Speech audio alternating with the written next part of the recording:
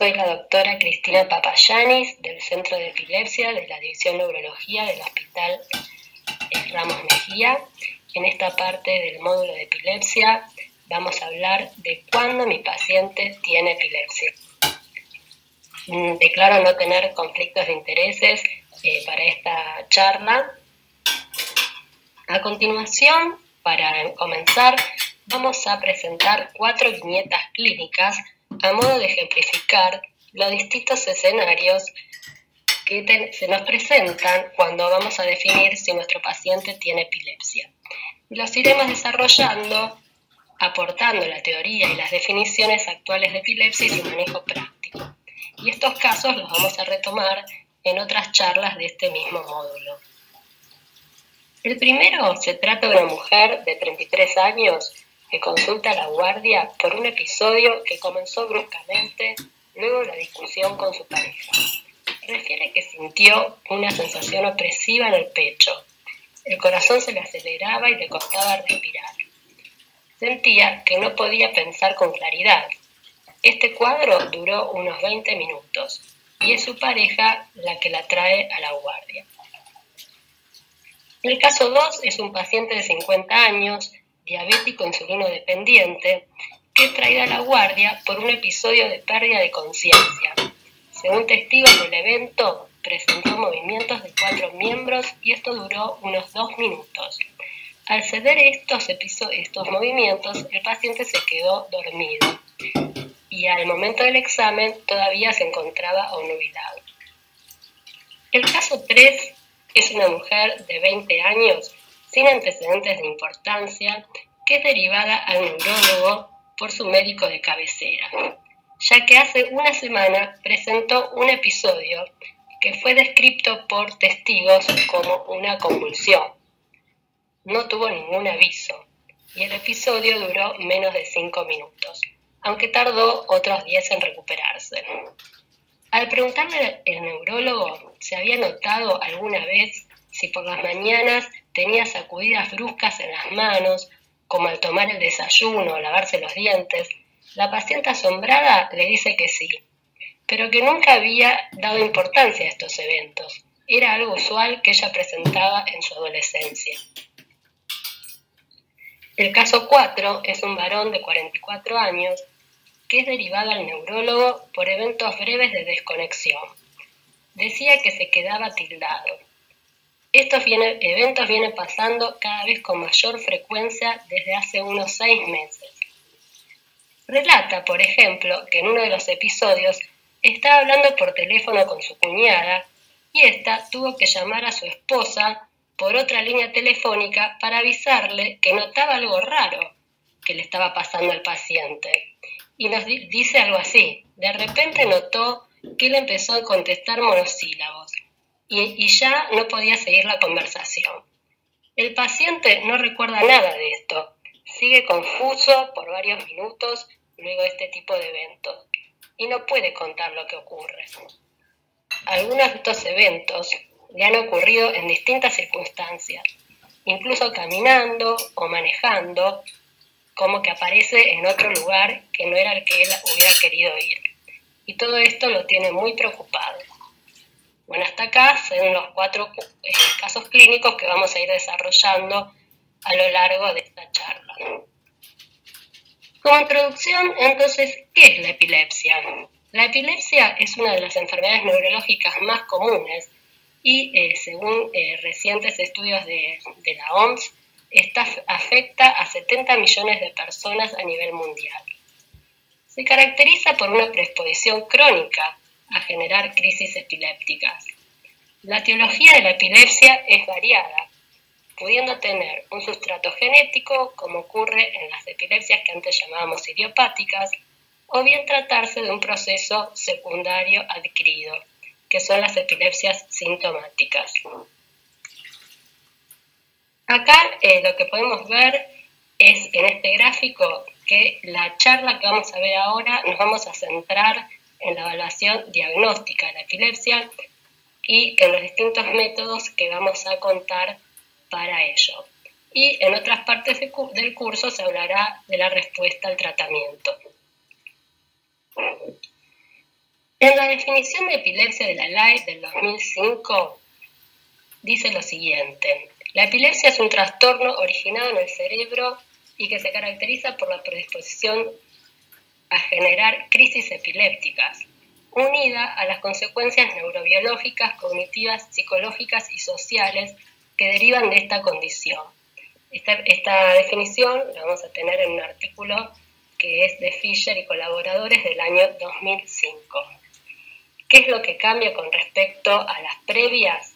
Bueno, que eh, incluye los factores cognitivos y psicológicos, las comorbilidades que eh, generan, o sea, no solo las crisis epilépticas, sino todo lo agregado que, que esto produce y eh, los problemas sociales que derivan de esta condición, y también que con las nuevas definiciones es necesaria al menos una crisis. No, no ya como antes eh, dos episodios, sino ya que con un episodio, en algunos casos, podemos estar en condiciones de definir epilepsia. Entonces vamos a tener como este, dos contextos, pacientes que pueden presentarse luego de un primer episodio o pacientes que se presentan luego de dos o más eventos en los cuales de alguna forma es más simple el diagnóstico que en los casos que tienen un solo evento. Y tenemos también la definición operativa de la epilepsia que fue eh, publicada por eh, la ILAE, eh, por el doctor Fischer y colaboradores, entre ellos el doctor Samuel Wiebe, que tenemos el lujo de contar con él en este curso. Esta definición operativa de la epilepsia nos dice lo siguiente. Tenemos como tres situaciones en las cuales podemos diagnosticar epilepsia. Como las viejas definiciones, al menos dos crisis no provocadas, aunque también se incluyen las epilepsias reflejas, en las cuales, digamos, hay un gatillo para eh, generarse las crisis, como la epilepsia primaria de la lectura, este, bueno, otros tipos de epilepsias que surgen ante un estímulo, pero la gran mayoría de los eventos son no provocados y estas deben ocurrir separadas por más de 24 horas cuando tenemos dos eventos. La segunda situación eh, habla de una crisis no provocada, pero una sola crisis, pero la probabilidad de recurrencia a futuro sea eh, similar al haber presentado dos o más crisis. Que esto se considera cuando el, umbral sea del 60%, que ahora lo vamos a ver en la próxima diapositiva. Sea que hay una sola crisis, pero un alto riesgo de recurrencia en los próximos 10 años. Y eh, el tercer este, tipo sería diagnosticar un síndrome epiléptico. Lo del 60% que se explica en esta, en esta diapositiva viene de un trabajo de Hausers y colaboradores del año 98, en la cual, digamos, se vio que pacientes que tenían dos, eh, luego de dos crisis no provocadas, el riesgo de una tercera era del 73% a los 60 meses, con un intervalo de confianza de 59 al 87%. Por eso se tomó en los pacientes con una sola crisis aquellos cuyo riesgo sea cercano al 60%, que es el rango menor de este intervalo, eh, el riesgo de epilepsia, de tener una nueva crisis, se asemeja al haber tenido dos o más crisis. Por eso, en, en, los casos en que haya un evento, se puede considerar epilepsia si el riesgo de recurrencia se estima como alto. La primer, eh, entonces, ante una primera crisis o una primera consulta por crisis, eh, es algo que es bastante frecuente en las consultas por guardia, digamos, la consulta por un primer episodio. En estudios poblacionales se estimó que existe un 8 a un 10% de riesgo de que un sujeto padezca crisis en algún momento de su vida. son un 8 a un 10% de la población puede tener una crisis y un 3% de que haya un eh, diagnóstico de epilepsia a lo largo de la vida de los individuos. La incidencia de crisis no provocada oscila de un 50 a 70 eh, casos cada 100.000 habitantes por año. Y sabemos de, la, que la incidencia tiene dos picos. En los niños y adolescentes sería el primer pico, un segundo pico en los ancianos. Entonces, ante la primera crisis, ¿qué debemos preguntarnos? ¿Se trata realmente de una crisis comercial? ¿Es realmente la primera? ¿Es una crisis provocada o no provocada? ¿Qué tipo de crisis es? ¿Focal o generalizada? ¿Qué exámenes debo realizar? ¿Es epilepsia? O sea, ¿puedo diagnosticar epilepsia? ¿Cuál es el riesgo de recurrencia de estos eventos? y si debo iniciar un tratamiento o no, esto lo veremos en otras clases del módulo. Entonces comencemos con la primera parte. ¿Se trata de una crisis? Bueno, para esto tenemos la definición de crisis. La crisis sería una manifestación clínica paroxística, es decir, algo que ocurre de repente, de menos de dos minutos de duración en general, algo brusco y breve, y que se debe, se define por su fisiopatología. Se debe a, eh, a una actividad neuronal excesiva e hipersincrónica a nivel cerebral. O sea, el primer paso es corroborar si realmente se trata de crisis, descartando todos los diagnósticos diferenciales y luego recién allí ver qué tipo de crisis es. O sea, entonces la primera pregunta es ver si este episodio paroxístico es realmente una crisis.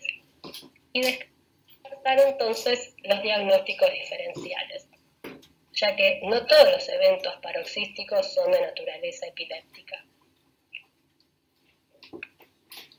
Como decíamos, entonces no todos los eventos paroxísticos son de naturaleza epiléptica. ¿Con cuáles me los puedo confundir? Con síncope, encabeza, digamos, el listado de los diagnósticos diferenciales, en los casos de pérdida de conciencia brusca.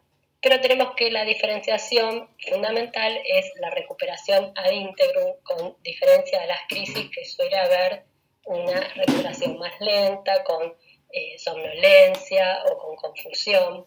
Y eh, por lo tanto, cuando hay una pérdida brusca de conocimiento, siempre había que pedir el electrocardiograma o la interconsulta con cardiología. También se puede confundir con, con migrañas, más que nada las que tienen auras, las parasomnias y otros trastornos del sueño, accidentes isquémicos transitorios y movimientos anormales como las disquinesias.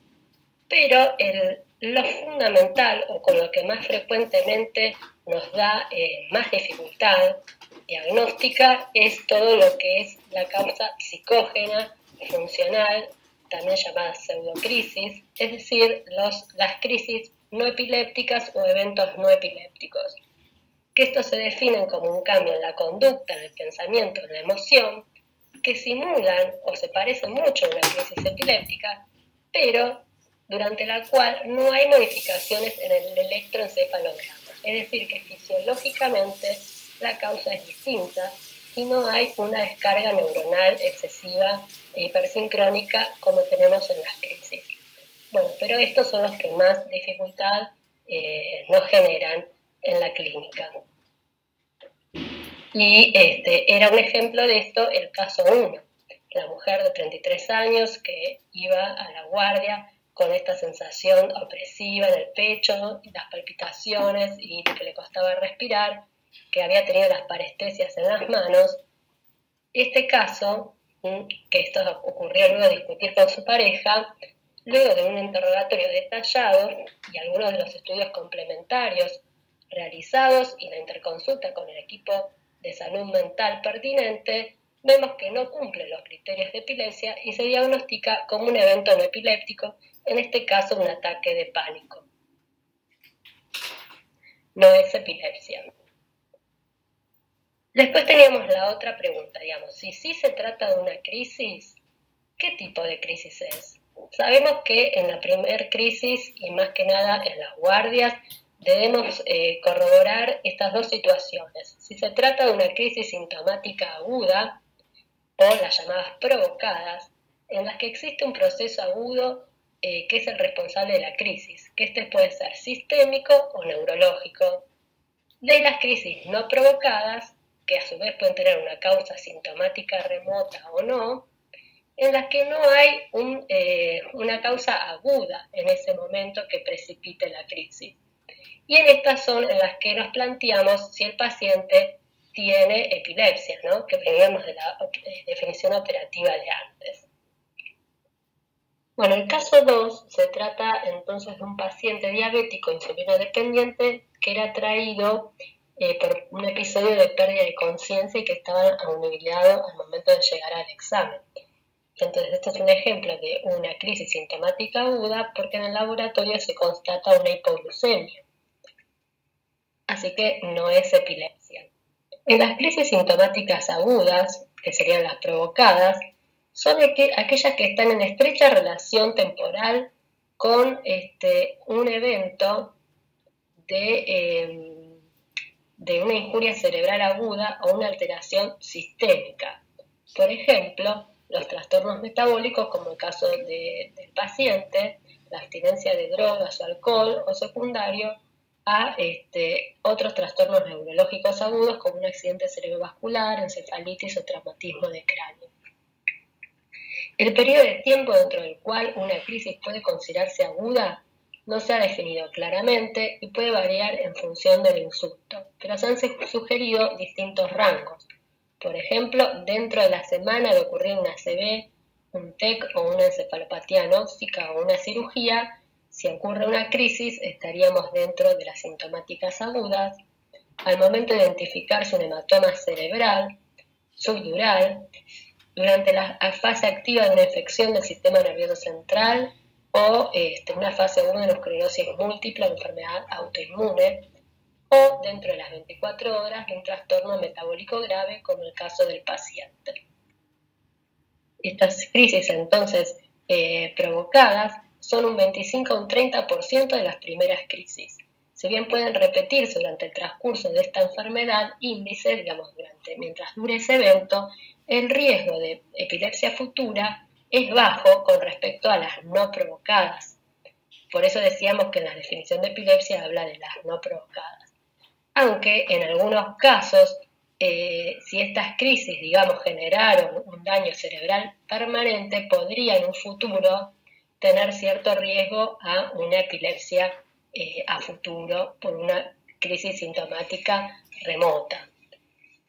En general, las crisis agudas no requieren un tratamiento antiepiléptico a largo plazo y en ocasiones se les puede dar algo por corto plazo hasta que se resuelva esta situación aguda.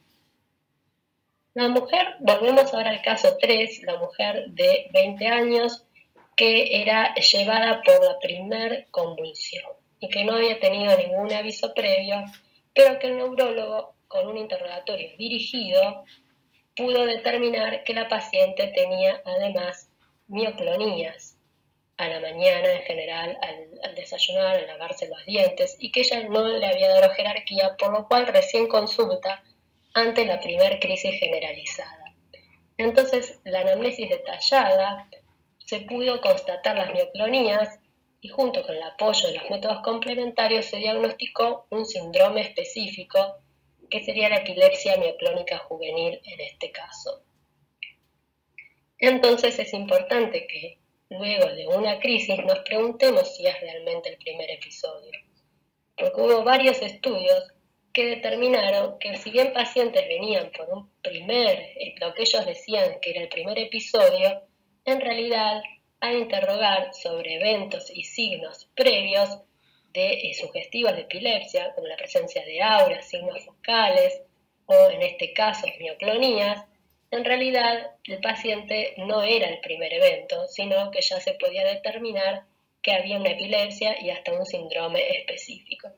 Y esto en los estudios llegaba a, digamos, un, un rango de 20 al 60% de las consultas y en un estudio de 220 pacientes, 41% se determinó que en realidad ya habían tenido una o más crisis previas, aunque decían que era la primera vez que consultaban y venían por una crisis.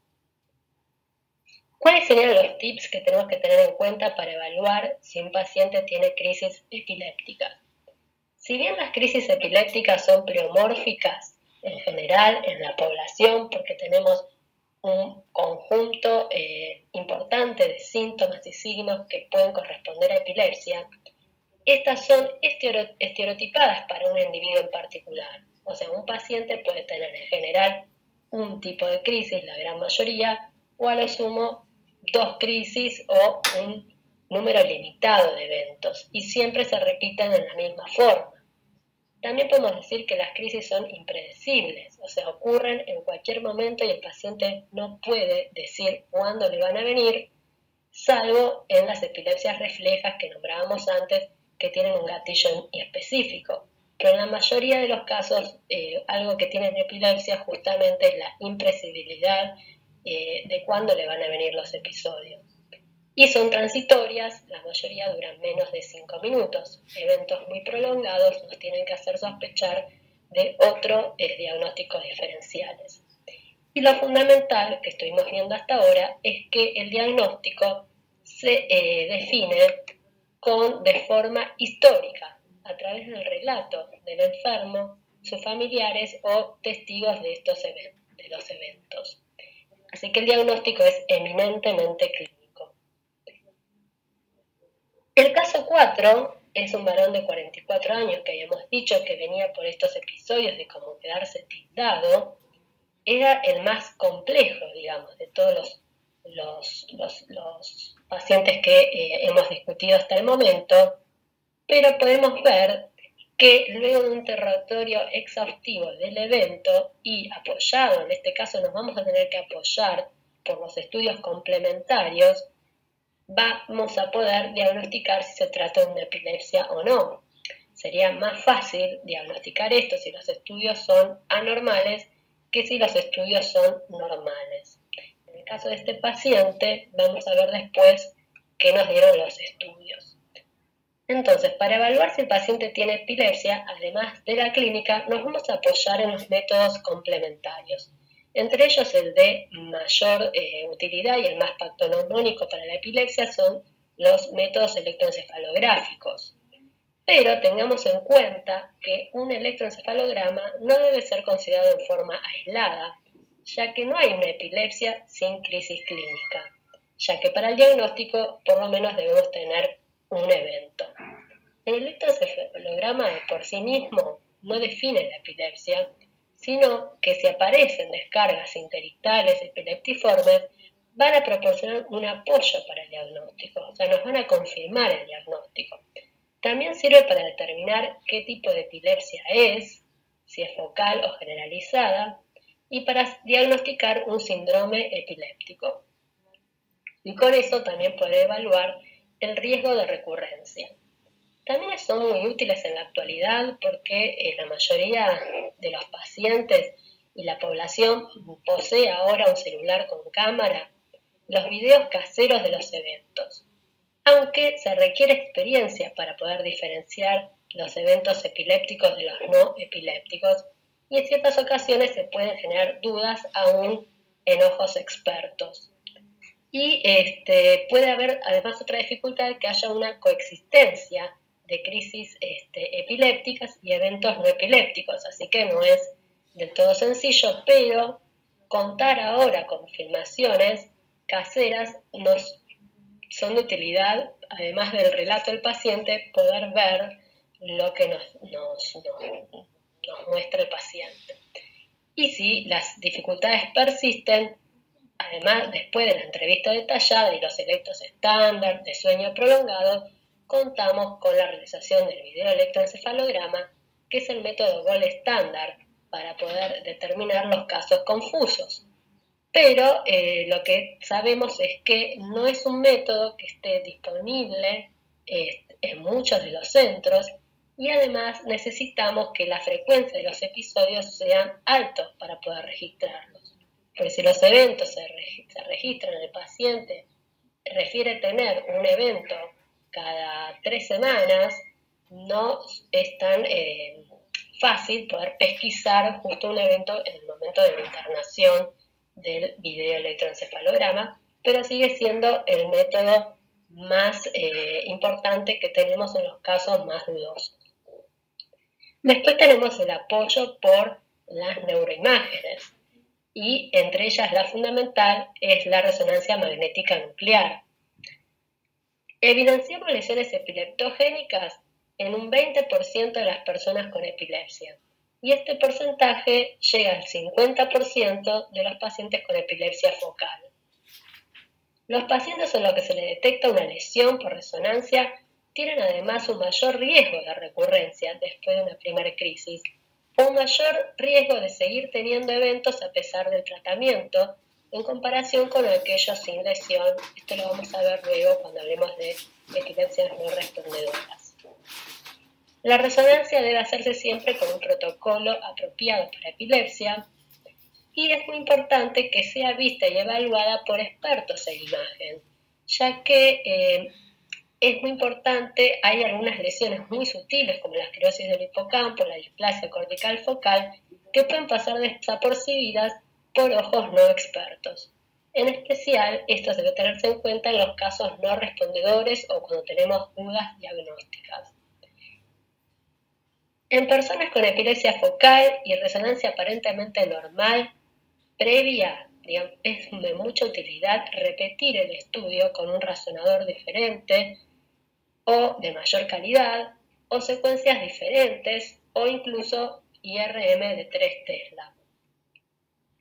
Vamos a ver un poquito a la clasificación de las crisis epilépticas. Ahora ya sabemos que sí, el paciente tiene una crisis, que sí es una eh, epilepsia porque tiene crisis no provocadas, y ahora vamos a ir a la clasificación.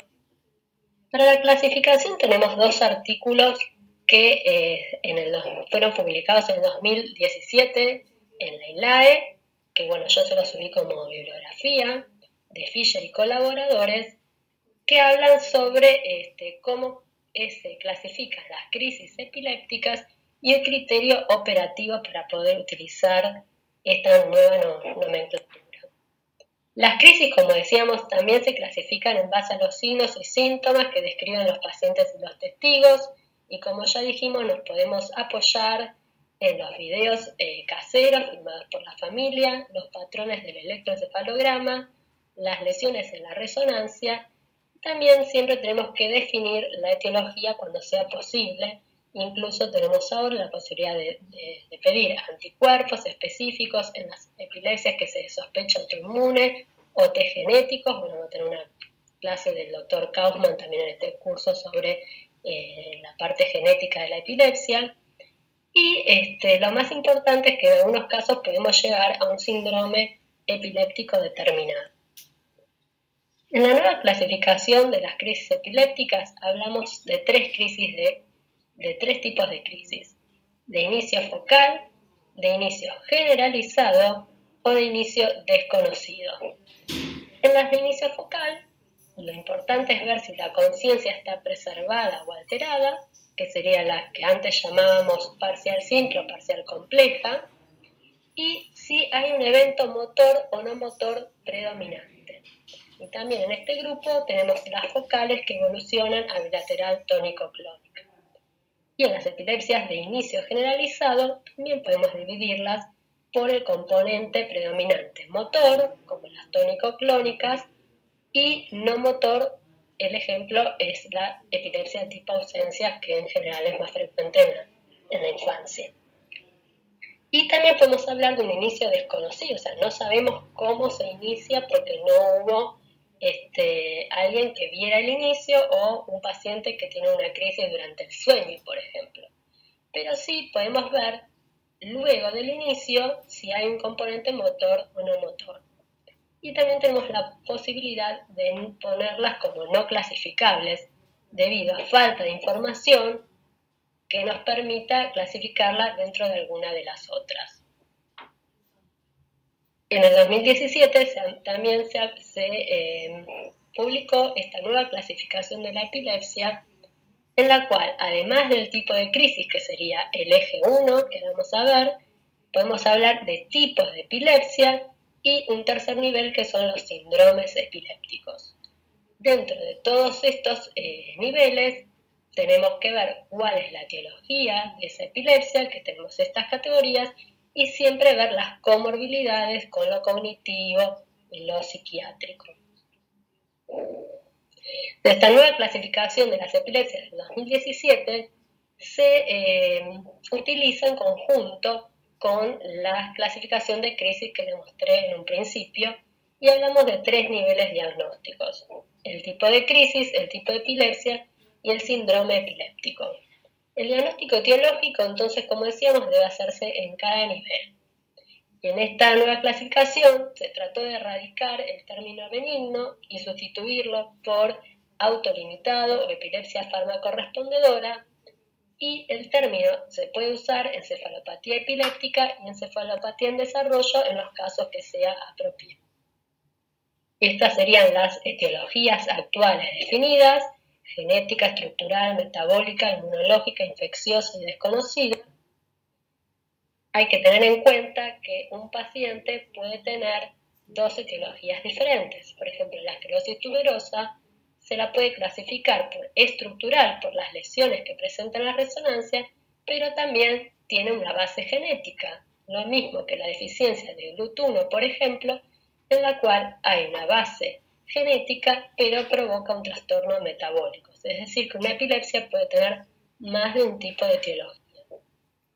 La nueva clasificación de las epilepsias, como decíamos, eh, tenemos tres niveles, pero a veces en algunos individuos solo podemos lograr clasificar en el primer nivel, que es el según el tipo de crisis, y este es el máximo nivel posible para ese momento en ese paciente, quizás porque no tenemos más información, o porque no hubo acceso a electro, o a video, o a estudios de imagen, o porque el paciente ha presentado un único evento y con ese solo evento todavía no lo podemos clasificar.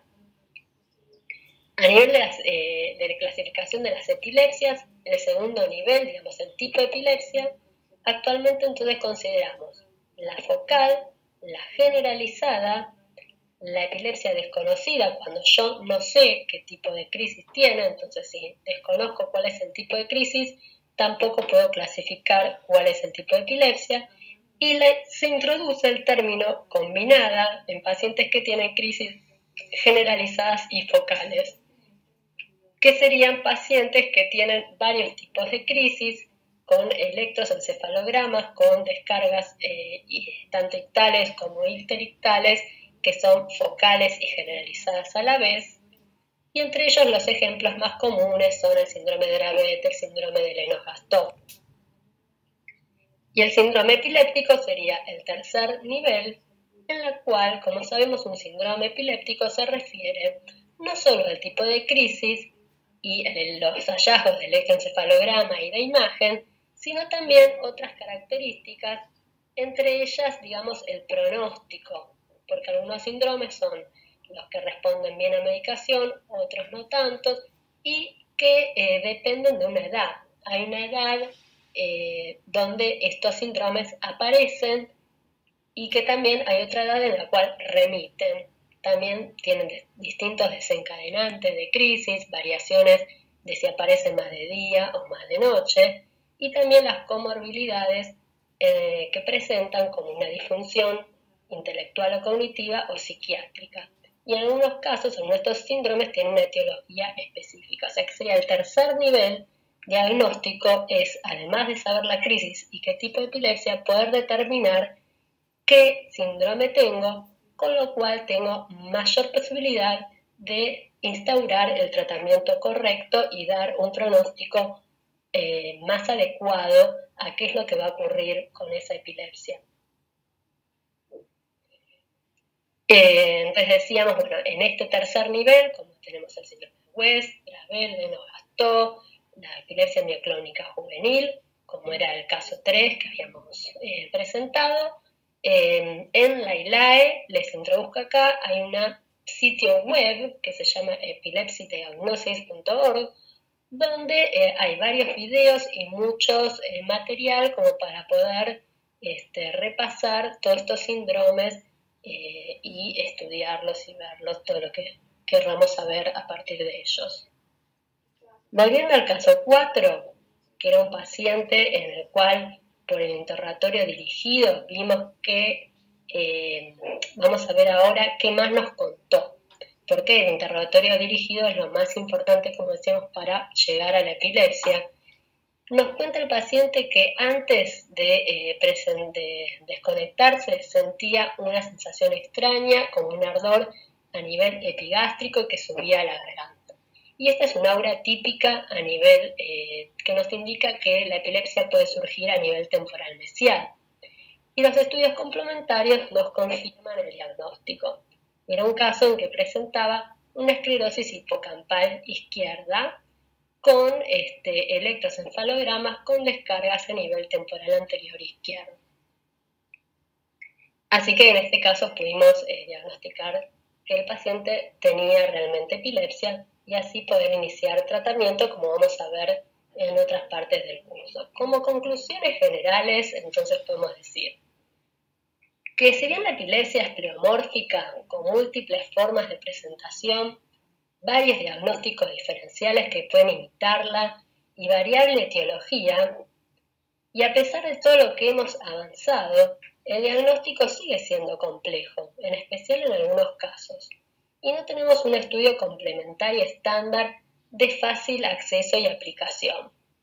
Porque, bueno, el video, el electroencefalograma, como dijimos, es el método gold estándar en los casos complejos, cuando hay dudas diagnósticas o dudas porque no hay respuesta, eh, no tenemos un acceso eh, fácil, digamos, hay mucha más demanda que oferta de este estudio.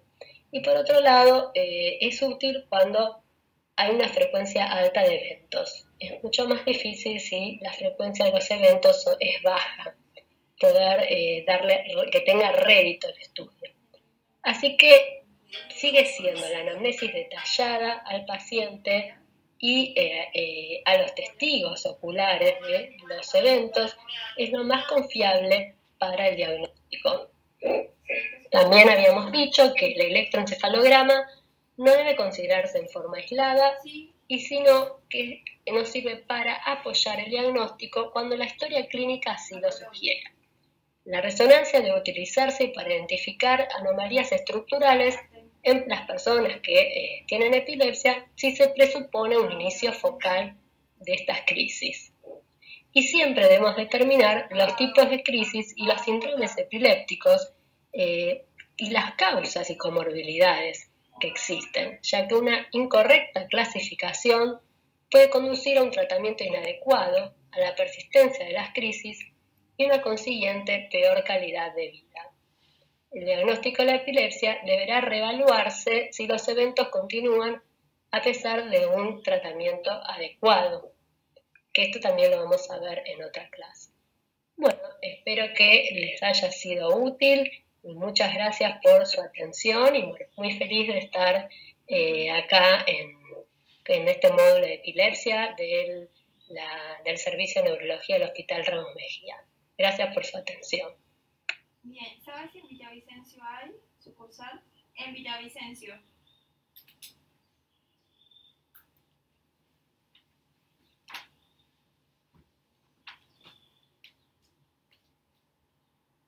Sí, es otra ciudad.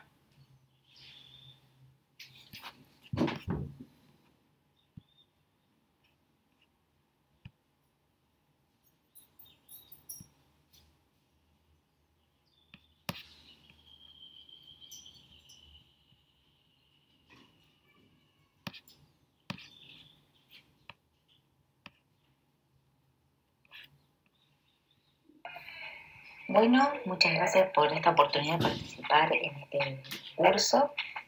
Bueno, mi nombre es Nuria Cámpora, soy médica epileptóloga y hoy vamos a ver cuando mi paciente tiene epilepsia, ¿qué medicación elijo para tratarlo?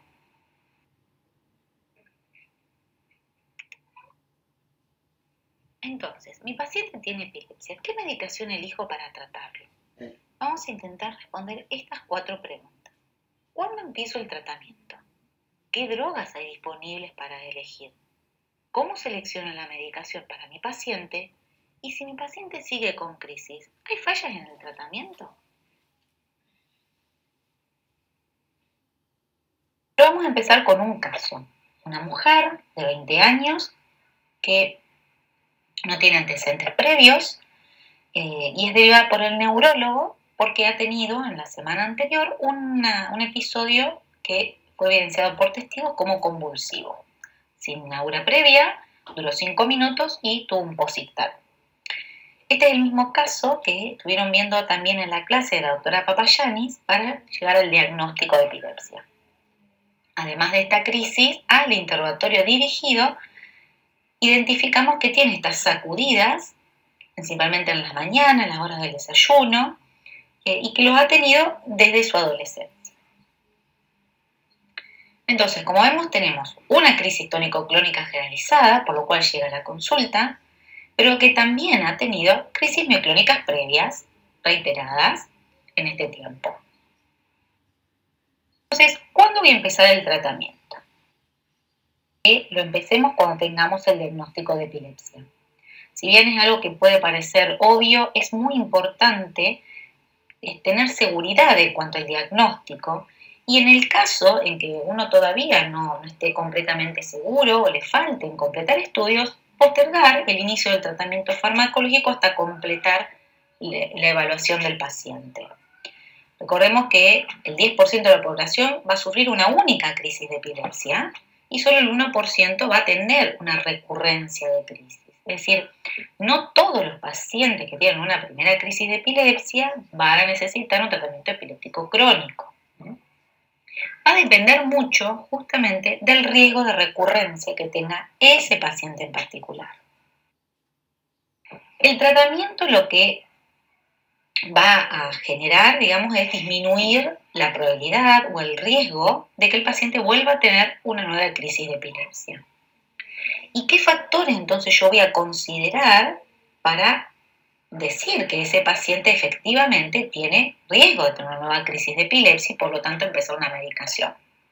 Bueno, tener un déficit neurológico, tener una lesión cerebral en la resonancia de cerebro, tener un electroencefalograma anormal y tener una alta frecuencia de crisis antes de comenzar el tratamiento son factores que nos orientan a pensar de que el paciente va a volver a tener crisis. Es decir, si tengo un paciente que viene a la consulta, como nuestra paciente del caso, que tuvo una generalizada pero tuvo muchas mioclónicas, es probable que en esa situación pueda volver a repetirse.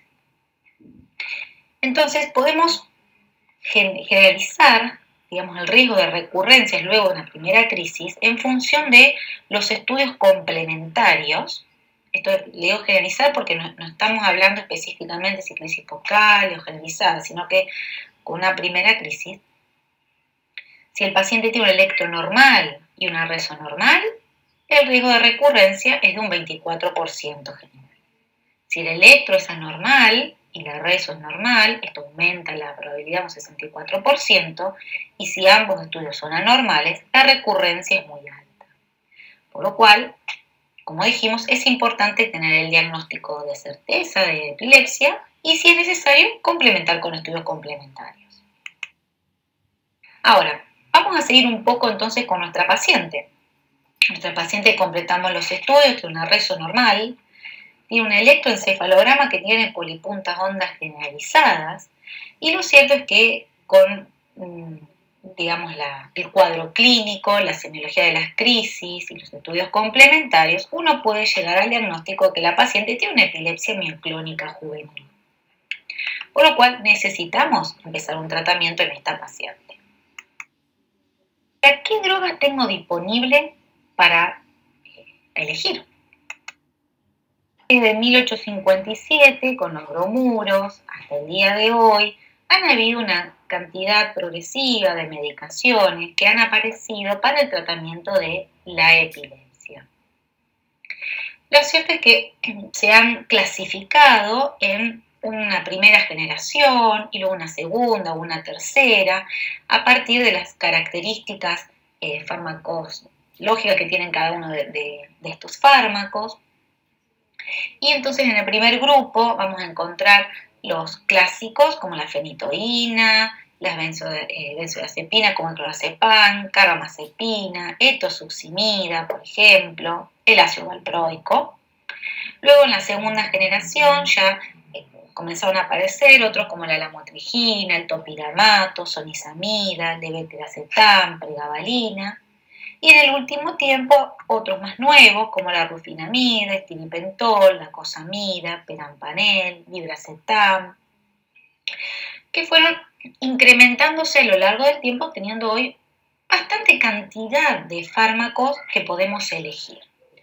Lo cierto es que hemos visto que aun cuando aumentamos la cantidad de fármacos antiepilépticos, estos nuevos no reducen la prevalencia de la epilepsia fármaco-resistente ni previenen el desarrollo de la epilepsia en pacientes de alto riesgo. Es decir, que controlan la epilepsia, pero no es que eh, lo controlan más que los de la primera generación. ¿Cómo actúan los fármacos antiepilépticos? Bueno, podemos tener una idea de que en la epileptogénesis es, eh, intervienen varios factores como la apertura de canales de sodio, de canales de calcio, canales de potasio, interviniendo tanto en sinapsis eh, excitatorias y también inhibitorias.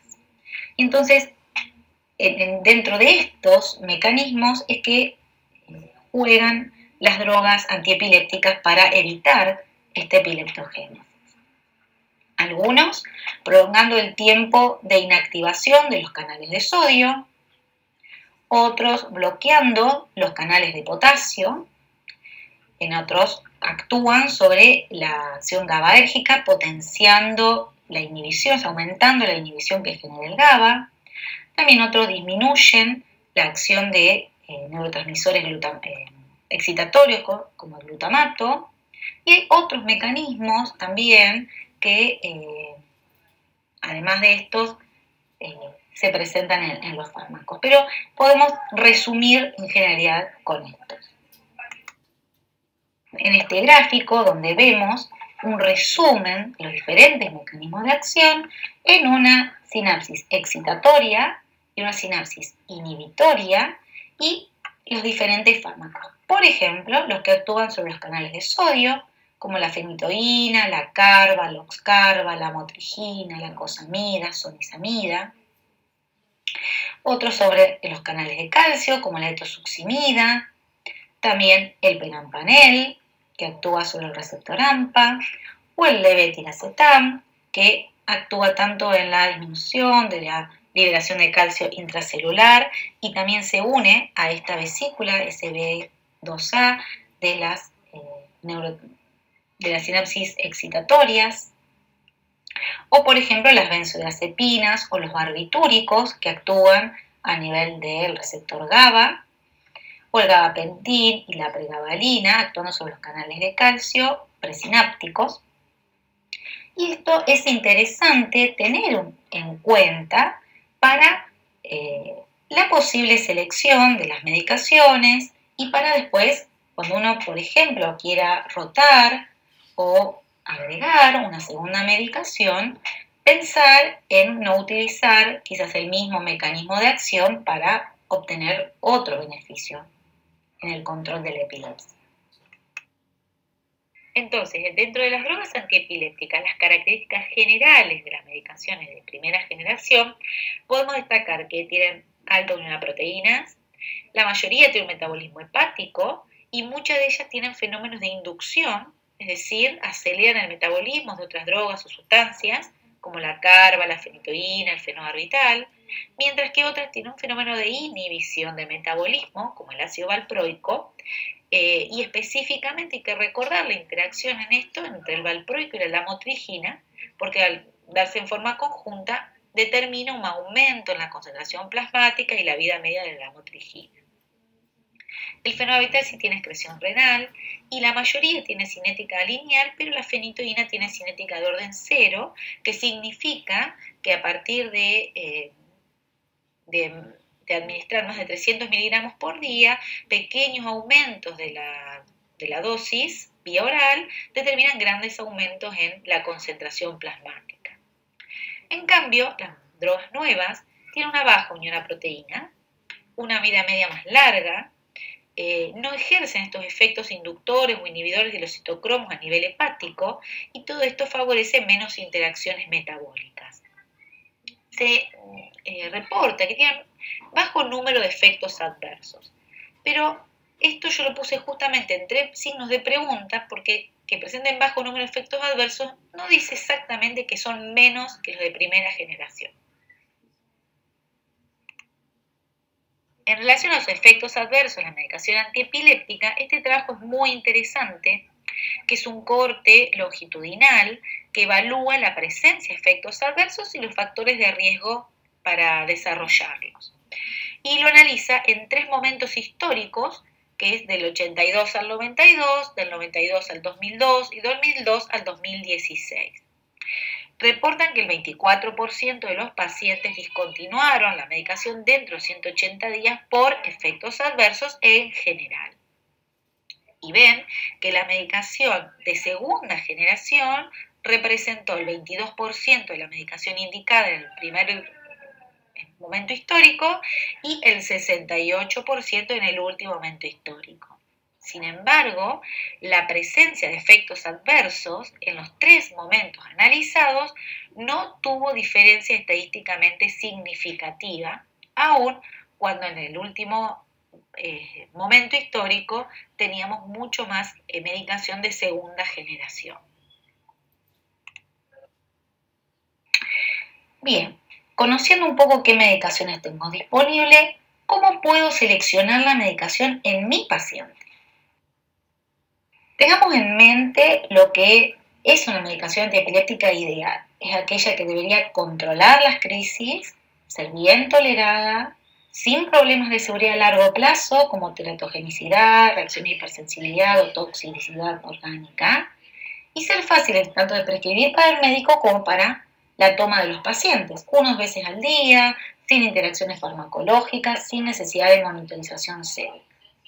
Bueno, el fármaco ideal no tenemos, por lo menos en epilepsia. Cada uno va a tener sus ventajas y también sus limitaciones, que es lo que nos va a permitir ajustar según el paciente, momento de su vida o situación en que esté atravesando.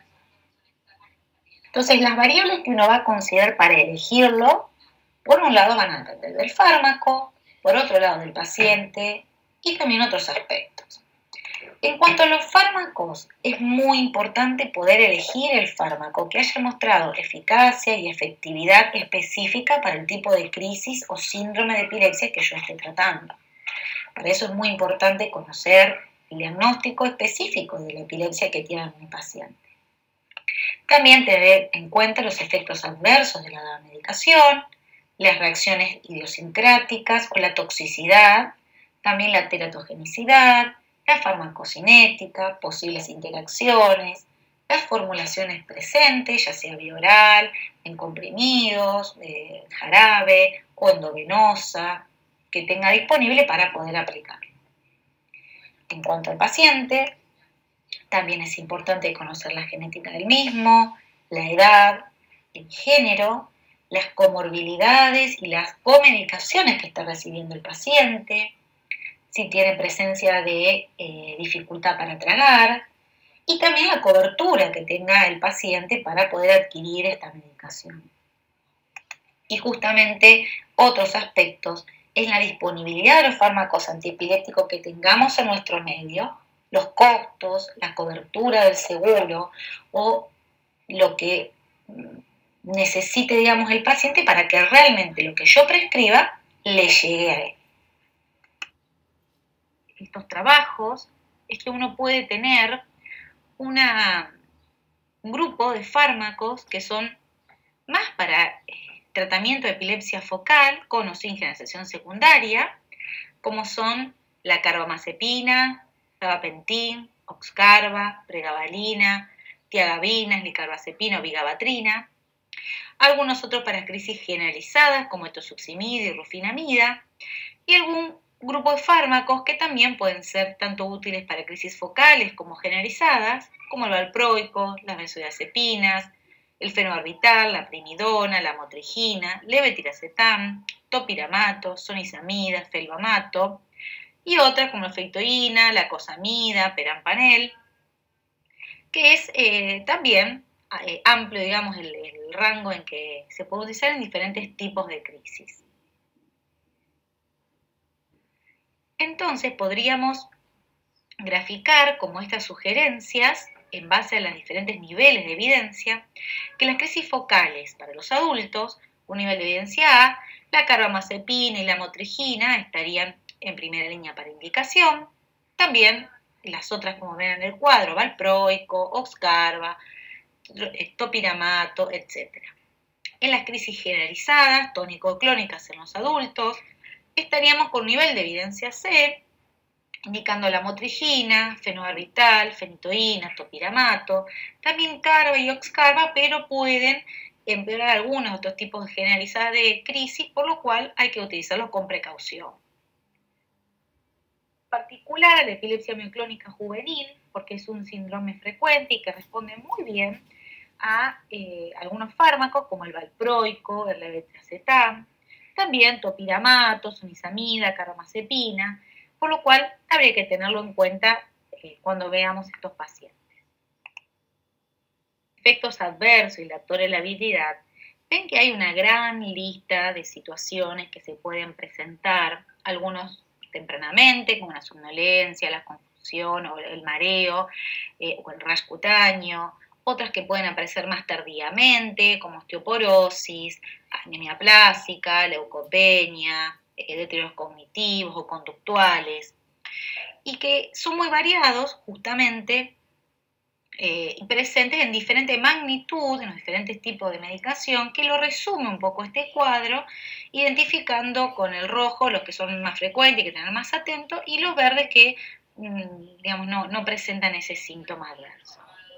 En sí podemos clasificar los diferentes eh, tipos de efectos adversos en agudos, dependientes de dosis, idiosincráticos, que son poco comunes, son raros, pero pueden llegar a ser graves, y algunos efectos a largo plazo del tratamiento crónico.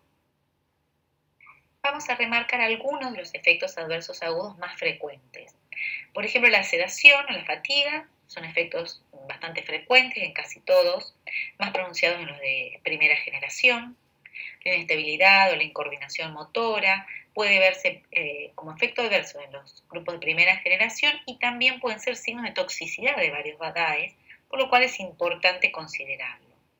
También el temblor en el valproico, eh, la actividad mental más lenta puede verse en el topiramato, con algunas fallas más que nada en el lenguaje, o cambios conductuales con el levetiracetam. Efectos adversos importantes son la variación del peso, hay algunos que favorecen la pérdida de peso, como el topiramato, sonisamida, y otros el aumento, como el valproico, galagapentina o la pregabalina.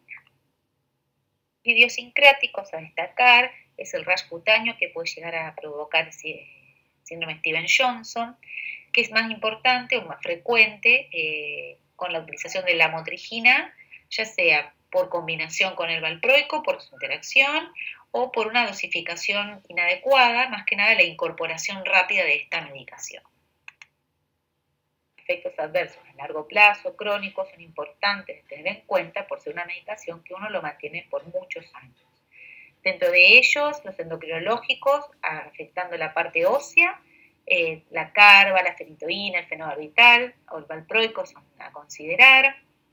También eh, los trastornos en el tejido conectivo que pueden provocar hiperplasia gingival, que es más frecuente ver con fenitoína, o también alteraciones sexuales que se pueden ver con este grupo de medicación eh, dentro de los efectos a largo plazo.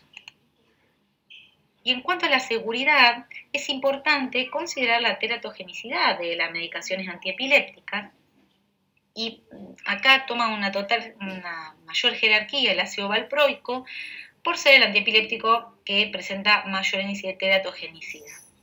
Así que es importante considerarlo en mujeres en edad En cuanto al punto de interacciones farmacológicas, es eh, además de las que ya hemos visto de la interacción dentro de los mismos antiepilépticos, podemos tener bueno, el valproico, la matrigina como, como parámetro, pero también otros inductores enzimáticos. También hay otras medicaciones, las medicaciones interfieren con otros eh, fármacos que se puede utilizar para otras cosas, ya sean algunos antibióticos o eh, antivirales, eh, o estrógenos, por ejemplo. Lo cierto es que la lista es bastante larga, eh, es por ahí mm, difícil de recordar todas estas interacciones, por lo que hoy en día creo que tener un elemento interactivo y gratuito que nos permite chequear las interacciones farmacológicas sería muy importante. Acá les dejo uno, que en realidad es de Medscape, por supuesto es gratuito, pero puede y hay otros que también sirven y que eh, uno debería familiarizarse y utilizarlo en forma rutinaria para eh, siempre tratar de eh, adaptar, digamos, todo en función del paciente.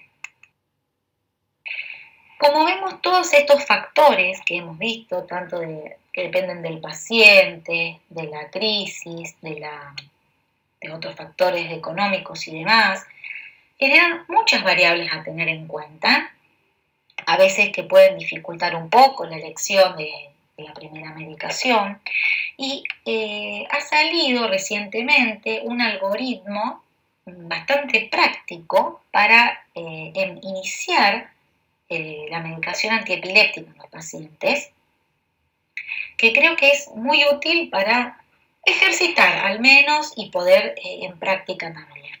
En donde inicialmente este grupo de, autores eh, determina los, las medicaciones eh, que son efectivas en, los diferentes grupos de, de, crisis, según tengan mayor, media, o sea, sean mejor o menos efectivos para generar una recomendación, pero que también está sujeto a algunos modificadores que van a depender de eh, comorbilidades, de edad, de, eh, de otras medicaciones o patologías presentes en el paciente. También es gratuito, es, eh, está en internet, así se busca como EpiPic, y uno justamente apunta a a ir cliqueando eh, algunas preguntas según un paciente para que nos dé una recomendación. Entonces, primero nos va a preguntar si el paciente ha tenido alguno de, de lo siguiente y nos, nos obliga, digamos, a determinar si realmente tuvo epilepsia o si tuvo otro episodio transitorio de alteración de la conciencia o de cambios conductuales o movimientos involuntarios que, digamos, eh, quizás no quedan tan claramente de la clínica que en epilepsia. Y bueno, uno marcaría esto, apuntando, digamos, inicialmente a hacer un buen diagnóstico de epilepsia. Luego, en función del paciente, digamos, los hallazgos de, la, de los estudios complementarios, más que nada de la resonancia, de algunas características clínicas, si tiene automatismo o si tiene las sacudidas o tónico-clónicas generalizadas, u otras características. Por ejemplo, se pone pálido antes de, de que se caiga o que tiene un fuerte dolor de cabeza antes del episodio. Vamos a, nos pide seleccionar la edad, el sexo, si tiene alguna, toma alguna otra medicación o si tiene alguna otra circunstancia a tener en cuenta, ya sea obesidad, diabetes, eh, cálculos renales o depresión, por ejemplo. Entonces, algoritmo lo que nos devuelve que para esta paciente de 20 años, premenopáusica, mujer, con una epilepsia miclónica juvenil y que toma anticonceptivos orales, el uso del levetiracetam estaría en primera opción. El valproico, que es otro que uno siempre tiene en cuenta para este tipo de epilepsia, lo, lo puso, digamos, en el grupo 3, más que nada por el efecto en cuanto a la seguridad y la teratogenicidad. Un poco a este caso, eh, lo que se inició en esta paciente, un poco lo mismo que nos dio justamente este algoritmo, es empezamos con el levetiracetam, con 1500 miligramos por día, a la dosis, pero tiene muy buena tolerancia, muy buena respuesta, no volvió a presentar crisis generalizada, tampoco está teniendo mioclonía, por lo cual estamos eh, bien, digamos, con esta paciente. Veamos un poco otro caso de un hombre de 44 años que este también lo vieron en la clase anterior con la doctora Papayanis, que fue derivado al neurólogo por quedarse desconectado o tildado, em, que lo presentó varias veces desde hace seis meses y vieron ocurriendo cada vez con mayor frecuencia, en donde el paciente eh, nota que empieza a, contesta con monosílabos, no puede seguir la conversación, el paciente tiene amnesia de ese episodio y una confusión. En el estudio complementario, digamos, de estos pacientes, la resonancia también mostró una esclerosis hipocampal con descargas temporales izquierdas, por lo cual el paciente tiene una eh, esclerosis hipocampal izquierda. Por lo cual se inició un tratamiento con carbamazepina, 1200 miligramos, con buena respuesta, que no repitió crisis eh, con este tratamiento en el último año. Pero ahora consulta, porque ha presentado en los últimos, en último mes, dos crisis eh, como las que había tenido previamente con lo que llega a esta última pregunta. Si el paciente sigue con crisis o como este caso que dejó de tener crisis pero vuelve a tener, ¿hay fallas en el tratamiento? Esto es un poco eh, lo que siempre tenemos que preguntar si está bien, digamos, nuestro tratamiento en el paciente. Y este es el concepto que yo quiero transmitir en este punto. Lo que es la falsa farmacoresistencia o falsa eh, no eficacia. A veces no, no, está bien, digamos, o el paciente no, no está libre de crisis o deja de responder porque cometemos algunos errores en el diagnóstico, ya sea en el tipo de crisis que tiene el paciente, lo cual nos va a llevar a elegir mal la medicación o eh, identificar otras causas que están generando, digamos, la epilepsia, ya de trastornos metabólicos, una enfermedad sistémica. Errores en el tratamiento en la elección del fármaco o en, eh, digamos, la dosis adecuada que tiene que presentar, eh, que tomar el paciente, o cómo tomar la medicación, eh, o la interacción farmacológica con otras drogas, que aunque tenga una buena dosis, lo esté tomando, hace que sea menos eficaz. Y la no adherencia al tratamiento, ya sea por porque no, no lo toma, o eh, porque, ya sea porque está rebelde, digamos, en realizar el tratamiento, o porque los efectos adversos le generan demasiado malestar, entonces prefieren no tomarlo, eh, porque no tiene una adecuada contención, educación el paciente y su familia, o porque la medicación tiene un costo que no le permite afrontar. Y acá quiero hacer eh, mención de una herramienta que tenemos a mano, que es la concentración sérica de los DAES. Esta concentración, sea, medir la dosificación en sangre de los pacientes, es útil principalmente en ciertas circunstancias. Una es para evaluar la adherencia, también para evaluar signos de toxicidad o durante el embarazo, para el monitoreo de algunas medicaciones. Y es cierto que principalmente las drogas viejas, de primera generación, tienen unos rangos terapéuticos más, más eh, determinados y bien definidos, dentro del cual eh, está, digamos, una dosificación útil. Pero cada paciente también eh, maneja su rango terapéutico de una forma individual. Digamos, no es que tenemos ni que llevar un rango, una dosificación en sangre determinada para que sea útil. Siempre la eficacia del tratamiento antiepiléptico la vamos a ver con la respuesta clínica, que deje de tener crisis. Ese es nuestro gol estándar. Eh, pero en el caso de, nuestro paciente, eh, la dosificación, o sea, dosar carbamazepina, en este, en este caso en sangre, nos podría servir para orientarnos eh, en cuanto a la adherencia del mismo. Para las drogas nuevas no existen rangos terapéuticos bien definidos, por lo cual no se sugiere, no, no resulta útil, digamos, en la actividad práctica esta medición. Viendo a nuestro paciente, lo que sucedió es que por dificultades en el acceso de la medicación, el paciente descendió la dosis de carbamazepina que tomaba 1200 a 800 en los últimos dos meses y eso fue lo que favoreció, precipitó eh, la nueva aparición de crisis. Luego se restauró la dosis que veníamos eh, utilizando y por el momento veníamos controlando las crisis. Entonces, como conclusión, podemos decir que es muy importante realizar un buen diagnóstico adecuado del tipo de epilepsia, del tipo de crisis antes de iniciar el tratamiento. El fármaco lo vamos a elegir en función del tipo de epilepsia, que es quizás digamos como la piedra fundamental a partir del cual empezamos a pensar, pero hay que tener en cuenta otras variables, interacciones, eh, la edad, el acceso a medicación, los efectos adversos, porque esto nos va a determinar un buen tratamiento, ya sea efectivo, que sea útil, pero que también que se pueda llevar a cabo.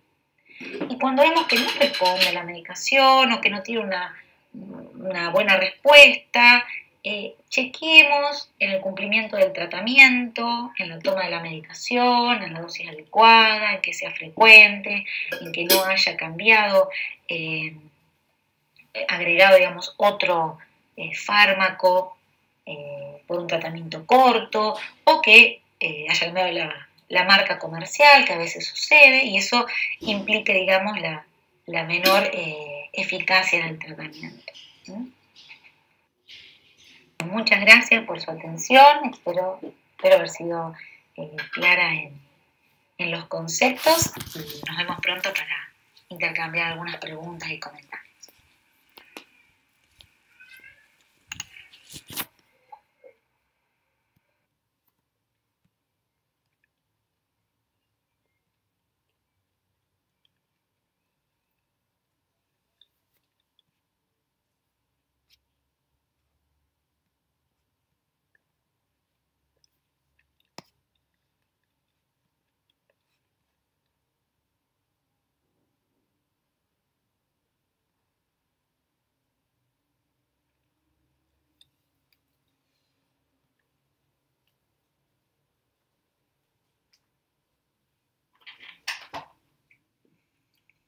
Dándole entonces continuidad al curso de epilepsia, en este caso el tema que me toca desarrollar a mí es el paciente que no responde al tratamiento, o sea, qué debo hacer cuando mi paciente no responde al tratamiento y veamos qué pasa más allá del tratamiento farmacológico también.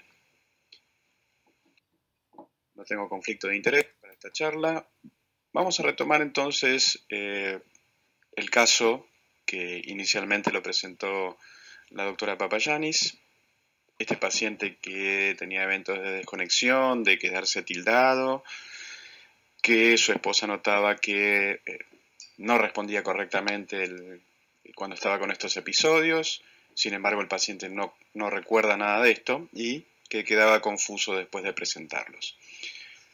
La doctora Campo al inicio carbamazepina, aparentemente tuvo un buen control inicial de crisis, pero eh, siguió aparentemente teniendo crisis. El paciente dice que tomaba en forma correcta la medicación, esto se confirmó con un dosaje plasmático con un nivel en el límite superior, a lo cual se debió asociar otro medicamento. El paciente empezó a recibir levetiracetam, pero a pesar de llegar a una dosis de 3.000 miligramos día, siguió continuando con, crisis epilépticas, tal cual lo relatado, digamos, previamente.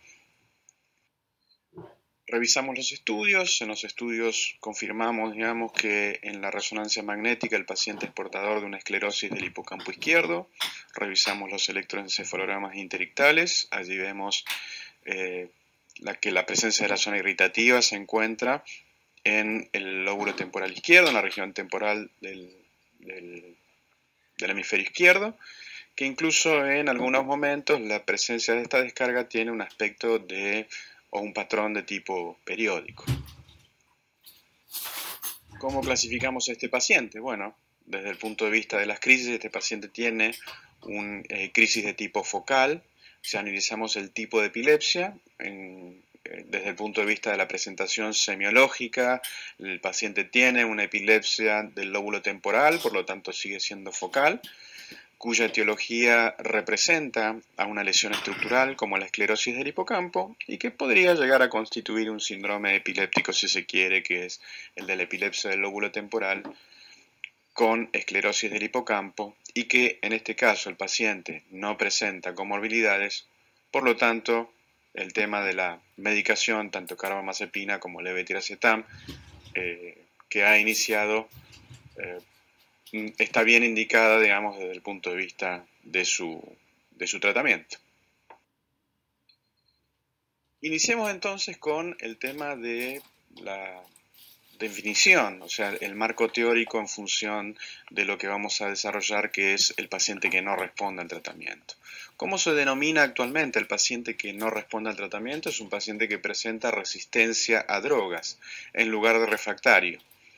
¿Y esto cómo se define? Bueno, hasta el año 2010 en que la Liga Internacional de la Epilepsia se puso de acuerdo, no había una definición de cuántos medicamentos el paciente debía fallar. Hoy se sabe que fallando a dos tratamientos, dos fármacos, solos o en combinación, uno ya está en condiciones de decirle a ese paciente que tiene una epilepsia resistente a fármacos, siempre y cuando ese paciente haya recibido la medicación a dosis apropiadas y adecuadas y ajustada, digamos, si se quiere, a su síndrome, a su tipo de epilepsia. Esto luego después se evalúa un nivel 1, que es la categorización por intervención, o sea, cada uno de los, de los tratamientos que yo decida, sea farmacológico o no farmacológico, lo que evalúa o lo que, lo que se interpreta es como una intervención terapéutica y ahí lo que yo analizo es si el paciente ya no tiene más crisis, sigue teniendo crisis o todavía no ha pasado un tiempo significativo para que yo diga que ese paciente no, no sé ah, si va a ser un tipo 1 o un tipo 2. Y a su vez, la evaluación en función de la intervención terapéutica, si el paciente desarrolla eventos adversos o no desarrolla eventos adversos. En función de eso, yo clasifico a este paciente en un respondedor, cuando responde al tratamiento, o en un resistente, cuando no responde al tratamiento, en un indefinido cuando todavía no ha pasado el tiempo suficiente para que yo analice esta respuesta. Aquí aplicamos esta famosa regla del 3, o sea, que es el periodo libre de crisis, que debe ser al menos tres veces el intervalo intercrisis previo al inicio del tratamiento, pero que debe ser un periodo de evaluación no menor a 12 meses para decir que ese paciente es respondedor. Una vez que tenemos este marco teórico de la definición, Seguimos avanzando. Y analizamos algunos ítems como por qué es importante tratar de que el paciente con epilepsia resistente debe continuar ajustando su tratamiento, porque la epilepsia no controlada se asocia con un aumento de mortalidad de SUDEP, muerte súbita en epilepsia, mayor número de injurias vinculadas a las crisis, llámese consultas a la guardia, caídas, etcétera, etcétera, y mayores limitaciones psicológicas y sociales con afectación de la calidad de vida. ¿Existe algún predictor que me diga si este paciente, por lo que yo veo, no va a evolucionar bien? Sí, hay algunos elementos desde el punto de vista de la clínica que son predictores. Por ejemplo, la presencia de una esclerosis del hipocampo en las imágenes por resonancia magnética. Es un trabajo ya viejo, pero clásico, digamos, donde vemos que un paciente que tiene una lesión, como el que presenta en, el caso 4 nuestro paciente, es un paciente potencialmente no respondedor. También la edad de inicio es importante, mientras menor sea la edad de inicio, menos chances tiene el paciente de responder, excepto que tenga algún síndrome epiléptico en especial. Y en un trabajo que hemos realizado nosotros en el hospital, aquel paciente que tiene una resonancia magnética anormal, desde el inicio, o sea, se sabe que ya es un elemento predictor de que ese paciente no va a tener una buena respuesta terapéutica comparada con aquel que tiene una resonancia magnética normal. Algunas cosas que tenemos que evaluar antes de decir si realmente es resistente o refractario el paciente. ¿no? Lo primero que tenemos que ver, como ocurrió como le ocurrió a la doctora Campos en el paciente inicialmente, fue que el paciente en realidad no estaba teniendo buena compliance con la medicación. Pero entonces aquí también lo que tenemos que es interrogar en forma prolija al paciente, luego el paciente vuelve, le, él dice que sí está tomando en forma correcta la medicación, le solicitamos un dosaje ese dosaje nos confirma la resistencia. Tener en cuenta también que si un paciente tiene niveles plasmáticos en sangre insuficientes, Siempre y cuando siga teniendo crisis es necesario reajustar el tratamiento, o sea, llevar la medicación a la dosis más alta que el paciente tolere sin que presente eventos adversos. También se puede dar una situación en especial que yo elija mal la medicación en función del tipo de síndrome epiléptico que tiene el paciente. Este es el caso, por ejemplo, de un paciente que tiene un patrón de descargas de punta onda generalizada en el electroencefalograma, donde se sabe que los pacientes que reciben bloqueantes de los canales de sodio, llámese carbamazepina, llámese fenitoína, empeoran este tipo de crisis y empeoran este tipo de descarga. Por lo tanto, yo no puedo decir que fue o que es resistente al paciente si yo tengo un paciente con este tipo de epilepsia generalizada, donde le inicié tratamiento con una medicación la cual se sabe que no es la indicada para este tipo de síndromes epilépticos. Bien, si ya descartamos los dos ítems anteriores, lo que debemos evaluar entonces o presentarnos en función del diagnóstico la necesidad de estudios como es el video electroencefalograma para evaluar diagnósticos diferenciales y para confirmar el diagnóstico. Si analizamos en función de la, de la medicación para pacientes con epilepsia resistente, bueno, en realidad todas las medicaciones sobre todo las que han eh, realizado ensayos clínicos, las de segunda y tercera generación, todas tienen su aprobación para su uso en epilepsia resistente a fármacos, que es donde se empezó a iniciar en epilepsia focal y ya algunas también en epilepsia generalizada. Eh, ¿Cuál es la propuesta nuestra? ¿Cuál fue la propuesta nuestra desde el punto de vista de la guía de la función neurológica? Que probablemente la combinación de fármacos sea mejor realizarla con las moléculas nuevas al reducir la posibilidad de interacciones. También debemos conocer con un poquito más de detalle y profundidad la necesidad de combinación, los mecanismos de acción. ¿Por qué? Porque se sabe que si yo utilizo medicamentos que tienen el mismo mecanismo de acción, probablemente yo no beneficie al paciente y lo único que haga sea generar eventos adversos o predisponer al paciente para el desarrollo de eventos adversos. Por ejemplo, si vamos a la imagen de la derecha, yo combino en, lo que hace la modulación de los canales iónicos dos medicamentos como pueden ser la carbamazepina y la lamotrigina que tienen ese sitio de acción, el paciente se va a venir y se va a quejar y nos va a decir que tiene mareos, inestabilidad, por lo tanto no resulta ser una buena combinación. Lo mismo si yo combino dos fármacos que actúan reforzando la inhibición sináptica, como puede ser las benzodiazepinas y los barbitúricos, indudablemente el paciente va a venir con queja de sueño a la consulta.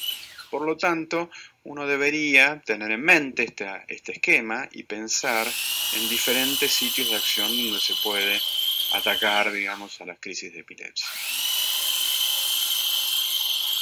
Tener en cuenta que eh, la respuesta a una primera, un primer tratamiento es del 45%, que la respuesta a un segundo tratamiento es de un 11% y que la respuesta a un tercer tratamiento, ya sea sola o en combinación, es de un 4% más. Que a partir del uso de la primera medicación yo voy a basarme en esto, de combinar fármacos que tengan diferentes mecanismos de acción, lo cual yo esto lo denominamos como politerapia racional, pero que hay un 25 a 30% de pacientes que tienen una epilepsia resistente y que debemos planificar otro tipo de evaluaciones eh, y pensar si ese paciente no resulta ser un candidato a cirugía. Un dato relevante es que a pesar del paso del tiempo, este trabajo fue iniciado en el año 2001 y fue replicado en el año 2018, pese a la incorporación de las nuevas moléculas, no se ha mejorado el porcentaje de respuestas en lo que hace a la evolución cuando uno inicia una primera droga en un paciente de reciente diagnóstico o en aquellos pacientes que empiezan a no responder. Pero sí lo importante a tener en cuenta es que nunca la respuesta va a ser de cero, o sea, no es que a medida que yo le voy sumando drogas, la chance de respuesta va a ser menor, pero si sabiendo que nunca va a ser cero. Por lo tanto, quizás alguna medicación para un paciente, ese 0, ese 0,1% de posibilidades que tenga va a ser el 100% para él.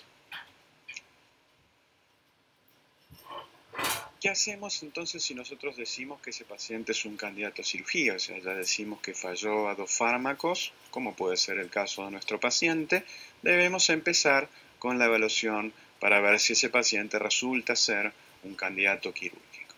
Nuevamente tenemos que revisar bastante el interrogatorio de la semiología. Para nosotros es importante saber, la semiología es un punto que nos dice de dónde pueden estar viniendo las crisis, conocer bien la historia farmacológica, todas las medicaciones que ese paciente recibió y si ese paciente recibió dosis útiles, porque muchas veces el paciente no llegó a tope de la dosis y estamos diciendo que falló, pero en realidad necesitamos asegurarnos que ese paciente haya recibido la medicación en forma correcta y apropiada, pasar a la fase de estudios, como es el estudio de videoelectroencefalograma, realizar resonancias magnéticas de alta resolución, realizar una evaluación neuropsicológica y, y realizar una evaluación psiquiátrica para evaluar que ese paciente sea un buen candidato a cirugía.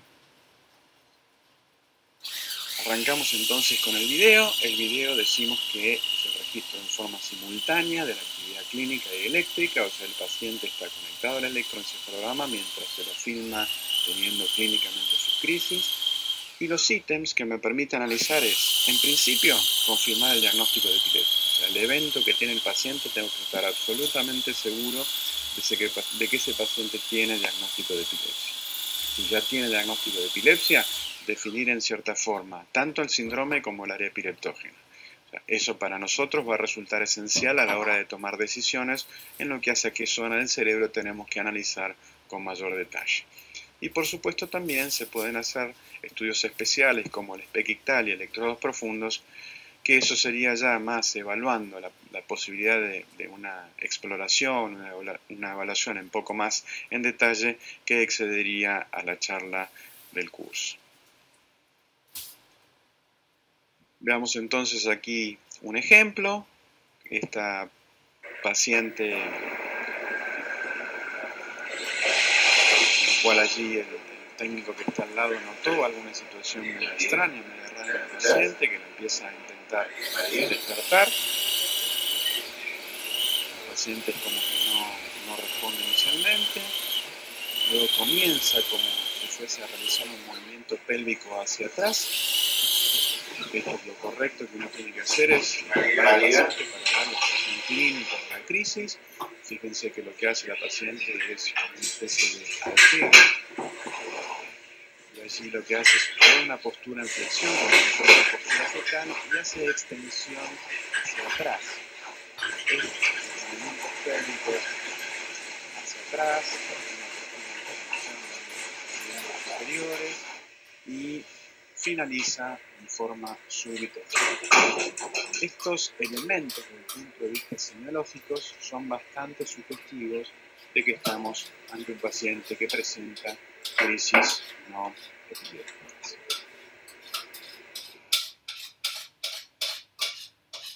Veamos entonces el registro electroencefalográfico. En principio lo que podemos decir es que el paciente tenía alfa, por lo tanto en realidad no estaba del todo dormido luego empiezan a verse como si fueran eh, una actividad rítmica, rápida, pero que en realidad representa probablemente una actividad muscular, quizás contracción mandibular.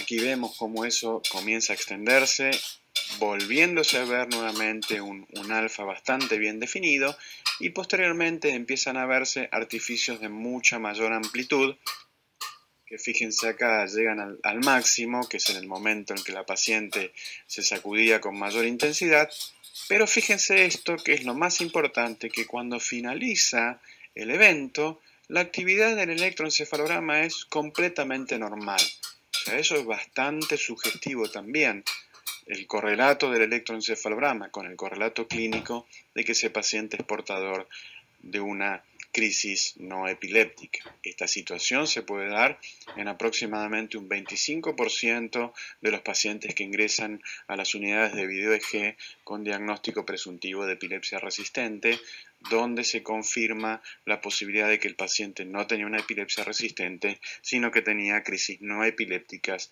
y que el tratamiento, el abordaje es completamente diferente a lo que es el abordaje en un paciente con epilepsia. Veamos este ejemplo ahora. Es otra paciente también que ingresa a unidad de video por presentar una epilepsia fármaco resistente donde lo primero que hace paciente es modifica su gesto, avisa que algo le pasa, fíjense los movimientos orales que realiza, mira levemente hacia la derecha y fíjense los automatismos que realiza con su mano derecha y la postura, podríamos decir, un poco distónica de su mano izquierda. El paciente se le interroga acerca de si contesta, si está alerta, la paciente parece responder fácilmente, parece no estar del todo desconectada de lo que está pasando. De hecho, más adelante se le va a preguntar por su nombre y la paciente va a responder en forma correcta. Bien. ¿Cómo te llamas? ¿Cómo te llamas? Graciela. Bueno, ¿Puedes contarle una vez, Graciela? Estos elementos desde el punto de vista del, registro clínico, digamos, son bastante sugestivos de que la paciente tiene como zona sintomatogénica las estructuras mesiales del lóbulo temporal derecho debido a las características clínicas semiológicas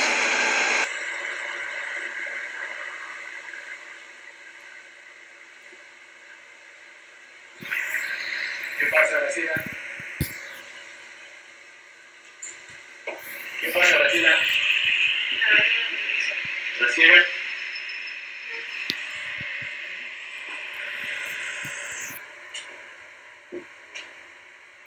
Graciela. ¿Escuchás, Graciela? ¿Podés hablar? Contame una pieza, a ver.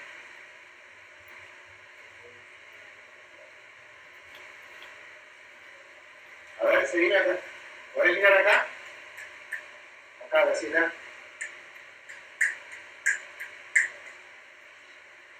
Abrí la boca, Graciela. Abrí la boca. Bien. ¿Cómo te llamas? ¿Cómo te llamas? Graciela. Bueno, ¿podés contarme una vez, Graciela? Y confirmarlo eso a través del registro electroencefalográfico. Fíjense allí que cuando la paciente empieza con esa actividad, esos movimientos bucales, se ven artificios por esta situación. Posteriormente siguen aumentando los artificios, pero empieza a observarse el inicio de una actividad rítmica sostenida en la región temporal anterior del hemisferio derecho. Y aquí vemos cómo se sigue desarrollando y luego lentamente esa actividad comienza a atenuarse. Confirmando entonces desde el punto de vista clínico la presencia de una epilepsia del lóbulo temporal de inicio en el hemisferio derecho, confirmado en eh, las características del electroencefalograma con inicio temporal anterior en el hemisferio derecho. Bien, entonces habíamos dicho que cuáles eran las propuestas al paciente resistente. Siempre la primera opción para un paciente con epilepsia resistente va a ser evaluar la posibilidad de una operación, evaluar una cirugía. Si la cirugía no puede ser llevada a cabo, como veremos más adelante, las otras opciones están representadas por la dieta cetogénica, el uso de estimuladores, nuevas medicaciones anticrisis o alguna medicación anticrisis en desarrollo y el desarrollo por supuesto, del cannabis que vamos a referirnos al final. ¿Qué pasa cuando decimos, bueno, el paciente en realidad no responde al tratamiento, tenemos que evaluar si ese paciente entra en plan de cirugía, si hay algún algoritmo, alguna posibilidad que nosotros podamos seguir? En realidad uno va individualizando el caso, o sea, no es que esto está del todo definido, pero bueno, esto puede ser una, una aproximación un poquito hacia cómo manejarnos con un paciente con epilepsia resistente. Por supuesto que la primera indicación es el video. Aquí lo que debemos diferenciar es si el paciente tiene una epilepsia temporal o si tiene una epilepsia extratemporal. De hecho, muchos pacientes con epilepsia temporal lateral se comportan como si tuviesen una epilepsia extratemporal.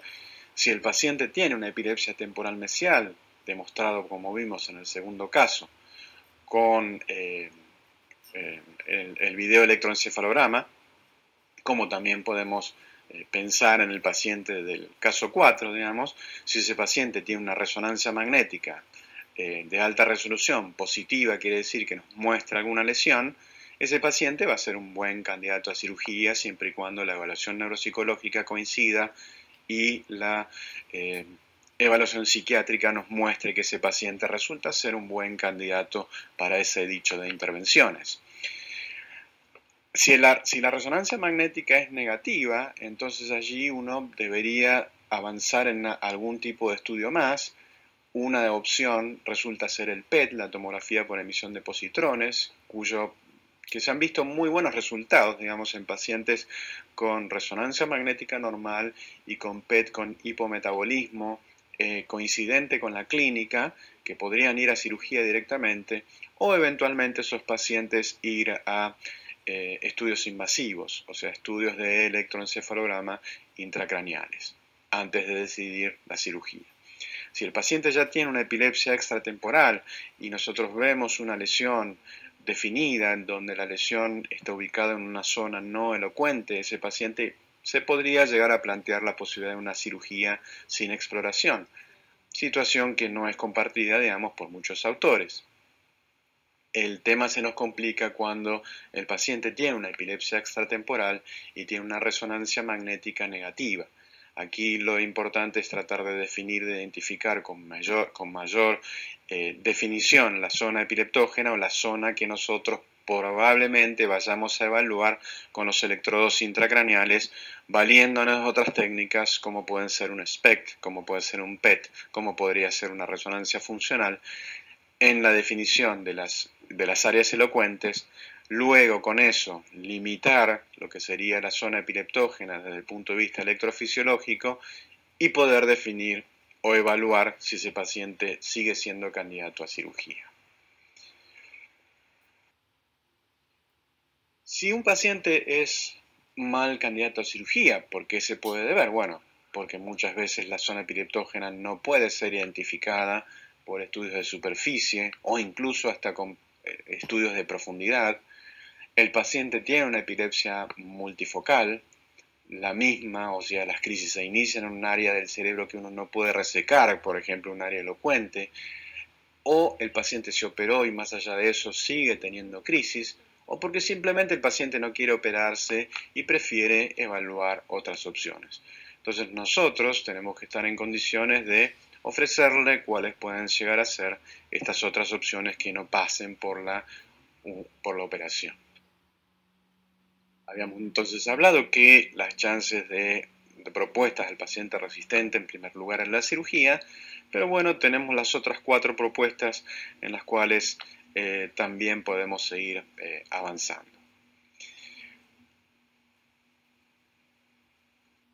¿Qué decimos de la dieta cetogénica?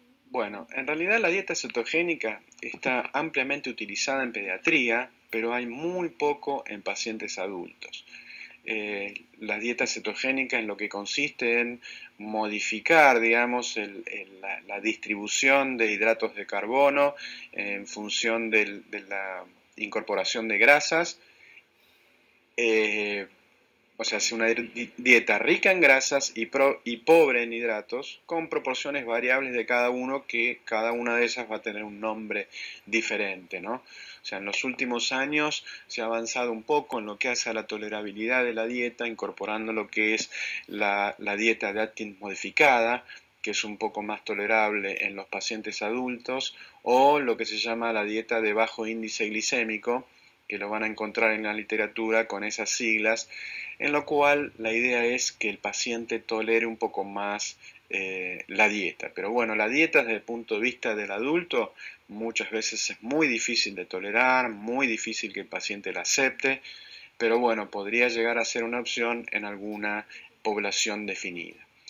También tenemos que tener en cuenta que la evidencia en relación a la eficacia no es tan sustentable. ¿Y por qué esto? Porque en realidad muchos de los trabajos se basan en estudios, eh, digamos, aleatorios, en lo que hace a definir que un paciente va a recibir dieta comparada con la dieta convencional y eso es un poco de donde se toma la evidencia. O sea, no, es, es, muy difícil plantearse un ensayo clínico donde un paciente reciba dieta y otro paciente reciba placebo o pseudodieta, digamos, desde el punto de vista de la práctica eso es inaccesible, por lo tanto eso hace que la evidencia en lo que hace a dieta cetogénica sea menor en relación a la, eh, a la chance, digamos, de evaluar la respuesta sumado a la posibilidad de que el paciente con eh, adulto, con, con epilepsia, donde hay menor todavía evidencia, esto sea un poco difícil de implementar. ¿Cuáles son las otras opciones? Neuromodulación, neuroestimulación.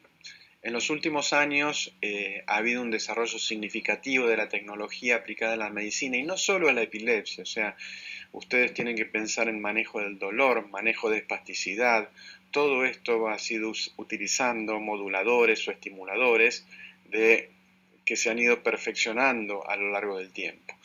¿Qué quiere decir modulación? Eh, modulación se refiere a la modificación en lo que es al inhibir, estimular o modificar eh, o regular, digamos, la actividad tanto eléctrica como química en cualquier parte del sistema nervioso. Y lo que uno tiene que tener en cuenta también es que la neuromodulación es un procedimiento no destructivo, o sea que por eso debería ser reversible. O sea, yo utilizo un procedimiento neuromodulador o neuroestimulador en realidad lo que hago es estimular determinada situación, cuando retiro el, aparato eh, debería dejar de funcionar y no tener más acción. Y por supuesto es ajustable, o sea que yo puedo ir modificándolo a lo largo del tiempo. eso es lo que hace, digamos, que este tipo de terapia sea una terapia eh, promisoria. ¿Cuáles son los sistemas de, neuromodulación? Bueno, los que se llaman de loop abierto o de loop cerrado. Loop abierto se refiere particularmente al estimulador del nervio vago. Hay algunas otras formas de estimulador del, nervio vago, como es estimulación del nervio trigémino, estimulación transcraneal, etcétera, etcétera, como pueden verse en esta diapositiva. O la estimulación a través del núcleo anterior del tálamo, que es lo que se ha usado en la estimulación cerebral profunda. Eh, también hay, trabajos de estimulación del núcleo centromediano, de los primeros trabajos que surgieron utilizando esta técnica han sido en el cerebelo. También se está empezando a implementar en el hipocampo y en otras áreas target, pero hasta ahora, digamos, los únicos trabajos con evidencia han sido en el estudio SANTE, el del núcleo anterior del tálamo. ¿Por qué son de, loop eh, abiertos? Digamos? O sea, el, paciente recibe estímulos cada determinada frecuencia, de determinada eh, eh, intensidad del estímulo, y, no hay posibilidades, digamos, de, de regular esto. O sea, el paciente en función de eso va recibiendo la estimulación. Y los que son de loop cerrado, o sea, son estimuladores que responden ante determinada situación.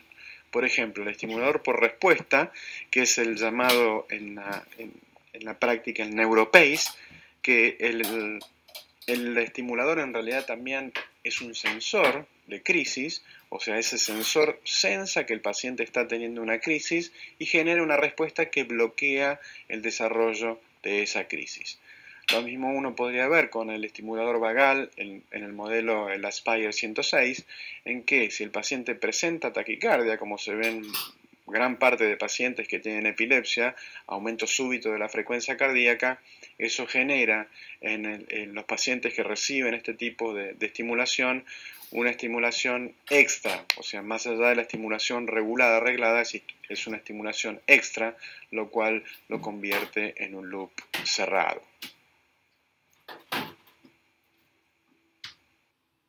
Analicemos un poquito también los resultados en función de cada procedimiento que se puede utilizar, ¿no? O sea, el estimulador vagal, el DBS, que es el estimulador en el núcleo anterior del tálamo, y el RNS, que es el Neuropace. Eh, dentro de los eventos adversos, bueno, es común en el estimulador vagal la presencia de ronquera y difonía cada vez que se activa. Eh, en el DBS lo que se vio fue un aumento de pacientes con depresión y por supuesto las infecciones, porque es un procedimiento muy complicado de realizar. Lo mismo que el, el Neuropace, en donde se vio un mayor índice de infecciones, de hemorragia intracraneal y probablemente de SUDEP también, aunque esto está por definirse. Lo, lo, importante de esto es ver, bueno, porcentaje de respondedores, fíjense que es muy parecido al año, fíjense que los respondedores a 5 años, y esto se ve sobre todo con el estimulador vagal, que va aumentando, y también se vio con el DBS, que va aumentando a medida que pasa el tiempo, sin embargo no hemos tenido pacientes sin crisis y vemos que el porcentaje de retención es un poquito más alto en el estimulador vagal, pero también no deja de ser importante en el resto del grupo. O sea, ¿qué, se desprende con esta diapositiva? Que en realidad la eficacia es muy parecida entre lo que son los, diferentes procedimientos, por lo tanto uno tiene que evaluar si la eficacia es muy parecida, tratar de ver el que menos probabilidades de complicaciones, el que menos morbilidad tenga en lo que hace a su colocación y por supuesto también el que menor costo tenga. Nosotros no disponemos en Argentina todavía del Neuropace, pero sí tenemos de los otros dos, el estimulador vagal, de hecho está el estimulador vagal eh, con eh, sensor de la taquicardia y eh, también disponemos del estimulador del núcleo anterior del tálamo, o sea, el DBS, no todavía del Neuropace. Esto lo digo en función de que uno podría llegar a plantearse un algoritmo. Supongamos que nosotros estamos en, en un país donde podemos elegir a ver cuál de los neuromoduladores podemos eh, aplicarle al paciente que no responde al tratamiento y no es un buen candidato a cirugía. Bueno, si el paciente tiene una epilepsia focal bien definida, o que ésta está ubicada en un área elocuente, o falló a la cirugía y la cirugía fue bien definida en lo que hace a la localización de las crisis, ese paciente quizás sea un buen candidato a un neuropace. Mientras que si el paciente tiene una epilepsia generalizada o no pude definir el síndrome epiléptico en función de que fue muy difícil la localización de la zona epileptógena o es difícil de establecer, digamos, la, la ubicación, o el paciente tiene una forma de epilepsia multifocal, más allá de dos, porque si tuviese dos podría también ser candidato a un Neuropace, las posibilidades se plantean en función o del DBS o del estimulador vagal. Y acá lo que podemos decir que si el paciente tiene un SAOS, no es un buen candidato a un estimulador vagal, por lo tanto uno podría plantearse la chance de colocar un DBS, pero si el paciente ya tiene o tiene queja de depresión, de fallas de memoria, es un buen candidato a colocación de un, estimulador vagal, teniendo en cuenta también que el estimulador vagal eh, tiene estudios desarrollados en psiquiatría, particularmente en depresión, o sea, tendría un efecto antidepresivo eh, destacable.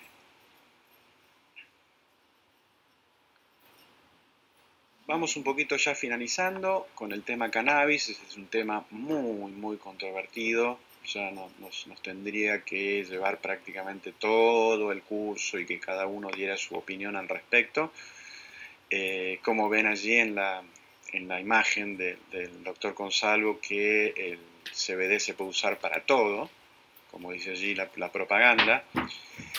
Eh, sabemos que el cannabis se usa en medicinas desde largo tiempo, largo tiempo y que han sido probados en diferentes afecciones, pero que en los, últimos años se ha visto como una invasión mediática de esto, quizás sin mucha, sin mucha eh, situación clínica o práctica de, terapéutica real, digamos. ¿no? O sea, creo que ha sido una, un paradigma de cómo los medios modifican digamos, el desarrollo de lo que uno puede pensar en un producto farmacéutico. O sea, la presión en el desarrollo viene de, desde arriba hacia abajo en lugar de empezar desde abajo hacia arriba.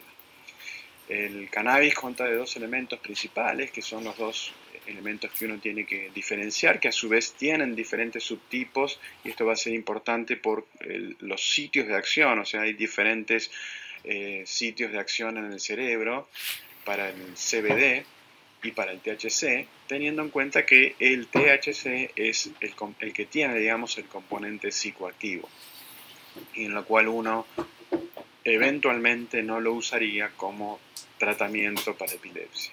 ¿sí? Sin embargo, o sea, uno esperaría encontrar que la formulación que esté utilizando tenga 100% de CBD y 0 de THC. Eh, pero bueno, hay algunos estudios que se están realizando que probablemente se pueda llegar a incorporar alguna proporción de THC y ver la respuesta que los pacientes tienen. En la práctica, dos ensayos clínicos en epilepsia, en Lenogastó y en Dravet, de 10 a 20 miligramos kilo, imagínense esta dosis en un paciente adulto, demostraron cuestionable eficacia en lo que a mí me da el análisis que ha llevado que independientemente de esto la FDA los apruebe. O sea, la, FDA aprobó el CBD para su uso en Lenogastó y en Dravet. Hasta el momento, ninguna otra forma de epilepsia ha tenido evidencia sustentable para que pueda ser utilizada. ¿Es una opción el cannabis? Sí, el cannabis puede llegar a ser una opción. Creo que necesitamos más estudios, sobre todo en pacientes que son resistentes a los tratamientos convencionales y que son descartados de cirugía, pero que necesitamos estudios serios y definidos para saber el potencial rol que juega el cannabis en el tratamiento de pacientes fármacos resistentes. Todavía esa respuesta no la tenemos y necesitamos prontamente esta solución. ¿Por qué? Porque si no esto se va a seguir manejando más en forma mediática, va a tener otras implicancias, se van a promover situaciones que en realidad no están definidas y creo que esto también es una situación desde el punto de vista del tratamiento médico. O sea, la decisión de qué tratamiento utilizar tiene que pasar por el médico. En definitiva, y para terminar, el manejo de pacientes con epilepsia resistentes es un desafío. O sea, es un desafío en la práctica diaria, sobre todo para aquellos que nos especializamos en pacientes con epilepsia.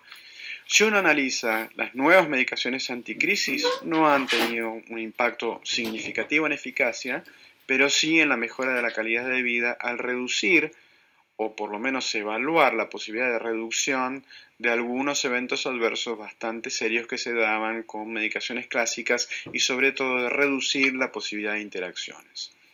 Los tratamientos no farmacológicos, más allá de alguna situación puntual de la cirugía, con éxito en el tratamiento quirúrgico no parecen brindar tampoco la respuesta deseada o la respuesta al menos esperada por nosotros.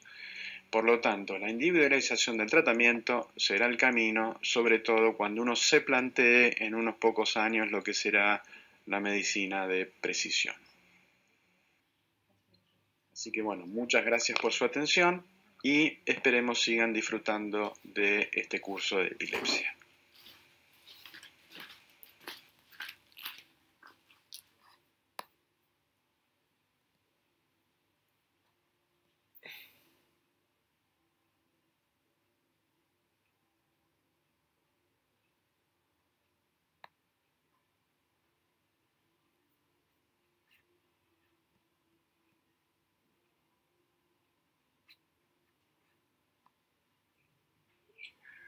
Muy buen día a todos. Eh, quisiera agradecer, eh, para empezar, la amabilidad en invitarme a participar en, este simposio y la oportunidad de discutir eh, o realzar algunos puntos a considerar cuando uno considera la descontinuación de fármacos antiepilépticos en pacientes que se encuentran en remisión. Los objetivos en general de la charla serán dos. El primero es la revisión de la evidencia eh, a grandes rasgos y hablar un poquito acerca de los algoritmos o programas de predicción que podemos utilizar en la práctica y dar algunos ejemplos. Entonces iniciaremos eh, de entrada con un caso de un hombre de 28 años que tiene crisis focales con alteración de la conciencia que progresan a bilaterales tónico-clónicas, esta es la nueva terminología focales con alteración de conciencia a bilaterales tónico-clónicas desde los 6 años de edad. Esa es la semiología, como ven aquí, con inicio en el pie izquierdo, mioclonías focales, luego progresión, Eh, eh, posteriormente eh, puede, o no tener debilidad postictal, pero en el examen muestra una apariencia mínima izquierda, tiene también una ah, marca ah, roja en la un nevo rojo en la cara. Eh, el eje eh, fue normal dos años antes, la resonancia magnética nuclear es normal. El paciente ha fallado ya esos tres medicamentos, fenitoína, clobazam, carbamazepina, y cambia a oxcarbazepina, 2.400 miligramos, levetiracetam, 1000 miligramos, un gramo, y solo ha tenido una crisis más después del inicio de sus medicamentos. La última crisis fue bilateral tónico-clónica seis años antes y focal con inicio sensitivo cinco años antes. Si no tiene crisis, entonces en lo absoluto desde hace cinco años con la combinación de esos medicamentos, el, paciente trabaja tiempo completo, conduce vehículos y tiene una vida ah, muy completa. La pregunta entonces sería, ¿cuál es el riesgo de recurrencia a dos años si el paciente no toma ah, fármacos? Es, de menos del 10, del 10 al 30, del 30 al 50, más del 50% o simplemente es imposible predecir. Y eso lo visitaremos de nuevo hacia el final una vez que hayamos revisado los algoritmos. El segundo caso es de una mujer de 40 años con crisis desde los 28 años de edad, ha tenido solamente tres crisis son generalizadas tónico-clónicas y ocurrieron entre los 28 y 36 años de edad, con inicio abrupto, francamente generalizadas. La resonancia magnética nuclear es normal y el EEG muestra punta onda generalizada de 3 hercios eh, y fue eh, obtenido hace seis meses. No tiene historia familiar de importancia, se inició eh, el tratamiento con valproato, pero tuvo efectos adversos, entonces se cambió a la motrigina 100 miligramos solamente, tuvo una crisis, se aumentó a 200 miligramos al día, 100 cada 12 horas, y desde entonces está sin crisis, cuatro años ya, conduce y tiene empleo. La pregunta de nuevo, ¿cuál es el riesgo de recurrencia a dos años si descontinuamos los fármacos y están las mismas posibilidades aquí, de menos del 10 a más del 50%, o simplemente no es posible predecir. Y existen métodos adecuados para hacerlo. Bueno, primero vamos a pasar a revisar cuál es eh, la, eh, qué, razonamiento existe para la descontinuación de medicamentos. Uno sumamente importante es la presencia de efectos adversos, es decir, la probabilidad de efectos adversos con medicamentos, fármacos antiepilépticos es bastante elevada. Y esta es, como vemos aquí, la categoría más común. Neurotoxicidad, consideración, ataxia o alteración cognitiva, incluso irritabilidad, depresión, o sea, aspectos del afecto o psiquiátricos que ocurren hasta en un 50% de nuestros pacientes, un porcentaje muy elevado. Uno de cada dos pacientes tiene efectos adversos.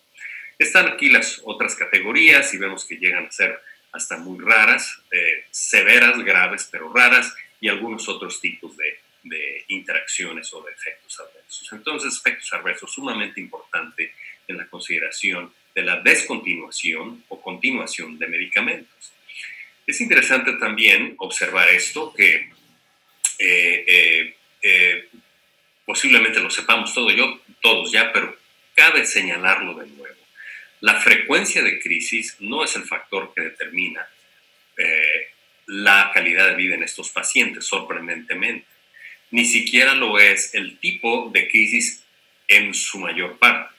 Sin embargo, la presencia de efectos adversos está aquí la medición de efectos adversos, una escala que mayor número indica mayor eh, eh, intensidad o cantidad de efectos adversos y en la vertical está la calidad de vida, donde 100 es más alto, cero es más baja calidad de vida y vemos una relación inversa muy importante, con una relación estadística muy, muy, eh, muy cerrada eh, en este sentido. Y la segunda, por supuesto, es depresión. Sabemos entonces que los dos factores más importantes que determinan calidad de vida son depresión y efectos adversos de medicamentos. Otra razón por la que es importante considerarlo. Bueno, vamos ahora a ver eh, la evidencia. Hay muchas más razones. Está el costo-beneficio, están aspectos de las expectativas que tenga el paciente, está la cultura, están las necesidades individuales de cada paciente, si el paciente conduce, eh, vehículos o trabaja, si es un niño, si es un adulto, todas esas cosas entran en juego, pero no tenemos tiempo de abordarlas en los 30 minutos de la charla, entonces pasaremos ya a revisar la evidencia acerca de la descontinuación de medicamentos. Este es uno de los estudios más antiguos y más, eh, más frecuentes, un estudio aleatorio, controlado, que involucró a pacientes eh, que tenían crisis de todos tipos, focales o bilaterales tónico-clónicas, eh, así como mioclónicas, y fue un estudio pragmático que no fue cegado, eh, en el cual se descontinuaban las, los medicamentos de acuerdo a la práctica clínica del médico y esos son los resultados. Eh, están eh, en los pacientes con que descontinúan medicamentos, 7 al 60%, 59% permanecieron sin, sin crisis, es decir, 40% recurrieron. De los pacientes que no descontinuaron medicamento, 78% libres de crisis, es decir, 22% recurrieron. La diferencia de acerca del 20% se traduce a un número necesario para dañar, que sería number needed to harm, de 5, uno de cada paciente que se descontinúa. En comparado con los que continúan, eh, se dañará desde el punto de vista en que, en que, tendrá recurrencia de crisis. Es importante señalar que la mayoría del efecto se observa ya durante el primer año de seguimiento, donde la diferencia es muy alta, es de entre 86% sin crisis con medicamentos y 60% sin crisis sin medicamento, con una diferencia de 26% y un número necesario a dañar a un menor que es de 4, uno de cuatro pacientes eh, serán, recibirán daño, si se puede llamar así, y es mayor el riesgo en los pacientes que tienen un corto tiempo sin crisis, pacientes que tienen historia de crisis bilaterales tónico-clónicas, epilepsias focales seguramente, porque existe una lesión epileptogénica permanente, así como crisis mioclónicas, y si el paciente recibe más de un fármaco antiepiléptico o ha tenido crisis después de iniciar tratamiento con fármacos. Este es otro estudio bastante más pequeño, pero la diferencia aquí es que este estudio involucra solamente pacientes que tenían monoterapia es un estudio aleatorio, controlado, doble ciego de 160 pacientes que tenían dos años sin crisis, excluyeron a pacientes con epilepsia mioclónica juvenil y el, eh, la disminución del medicamento, es decir, la, la, descontinuación ocurrió en un periodo de 10 semanas en total, como está, eh, como está aquí, 20%, 20 en 6 semanas, luego 20% semanal hasta su discontinuación. Y estos son los resultados. Los pacientes, la línea vertical muestra el fin del estudio aleatorio. Después de un año, los pacientes eran libres de continuar o no continuar el medicamento y la mayoría de los pacientes en seguimiento que no habían descontinuado decidieron descontinuar el medicamento y vean cómo la curva, esos son los que no descontinuaron, los pacientes libres de crisis, se va acercando cada vez más hasta que se hace igual a la de los pacientes que descontinuaron.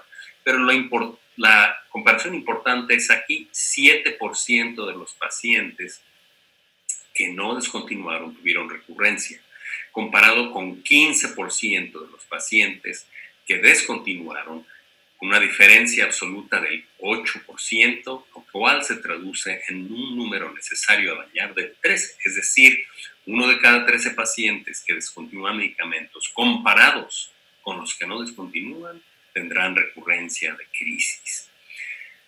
La recurrencia a cuatro años fue del 27%, importantemente. Noten cómo este 27% a cuatro años es mucho menor que el 41% que se observó en los pacientes en este estudio aleatorio, lo cual indica que este grupo de pacientes es una epilepsia de mejor pronóstico, menos grave, menos severa, con exclusión de una serie de pacientes que, eh, que conllevan un peor pronóstico.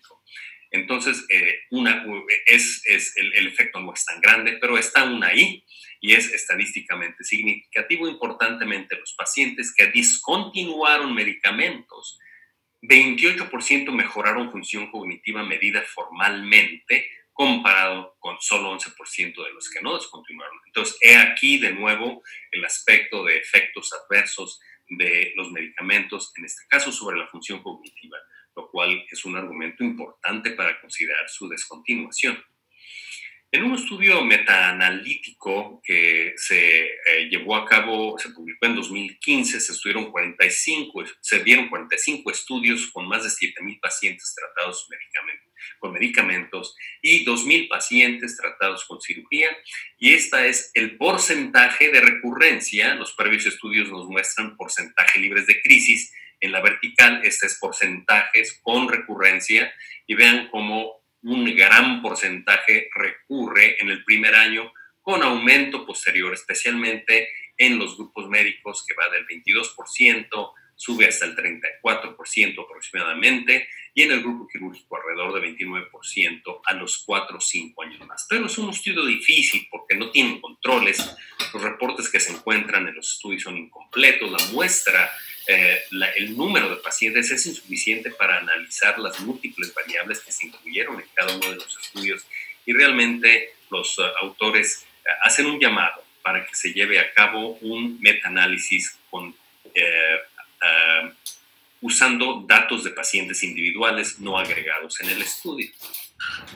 Otra revisión sistemática importante es de la colaboración de Cochrane, y esto fue publicado también en el 2015 y se, en este caso se analiza eh, la descontinuación temprana contra tardía, es decir, por ende, el estudio de, de, de, Inglaterra de 1991 no está incluido porque en ese estudio era descontinuación a dos años o no descontinuación.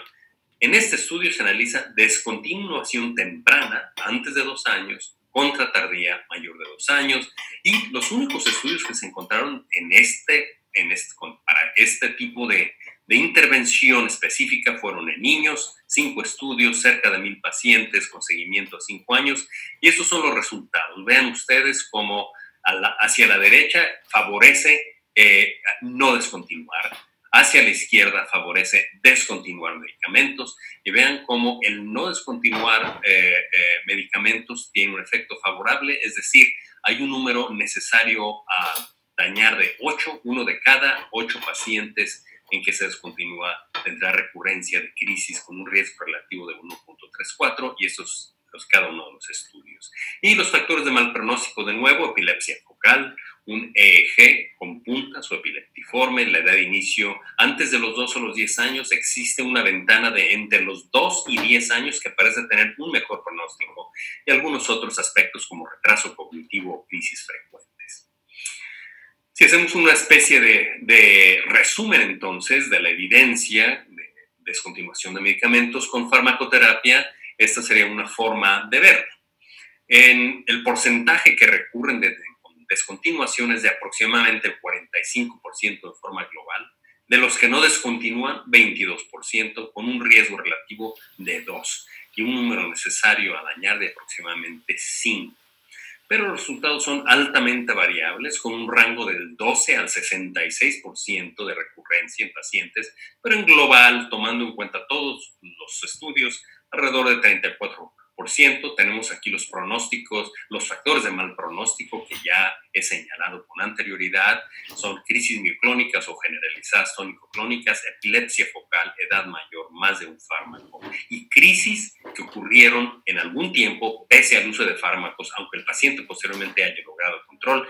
Eso es un indicio de mal pronóstico. Para descontinuación de fármacos en general, la disminución se llevó a cabo con un periodo de entre seis semanas a un año en general 20% mensual y un fármaco a la vez.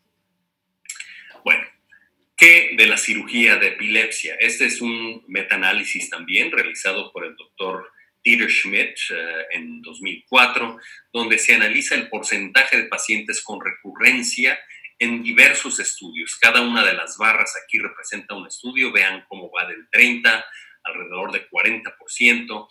Y es importante señalar que en estas series de pacientes, aproximadamente la mitad decidieron descontinuar medicamentos, es decir, se, se analiza esa mitad, la otra mitad no descontinuaron. De los pacientes que descontinuaron entonces, en promedio la recurrencia fue de un tercio de los pacientes. o sea, un tercio de los pacientes eh, tuvo, esa, tuvo esa recurrencia durante un periodo variable de seguimiento, pero de 1 a 5 años en general.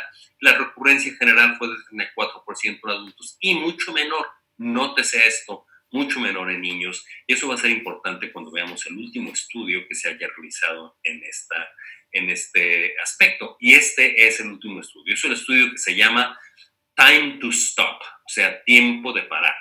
Es un estudio retrospectivo, eh, por lo tanto, observacional, multicéntrico, que incluyó a 700, casi 780 niños después de cirugía un año después de cirugía era el requisito, cuando menos un año de seguimiento, en los cuales se hiciera reducción de medicamentos después de haber estado libres de crisis y era un estudio muy uh, observativo desde el punto de vista en que los medicamentos se reducían a tiempos variables dependiendo de la cultura médica de cada lugar.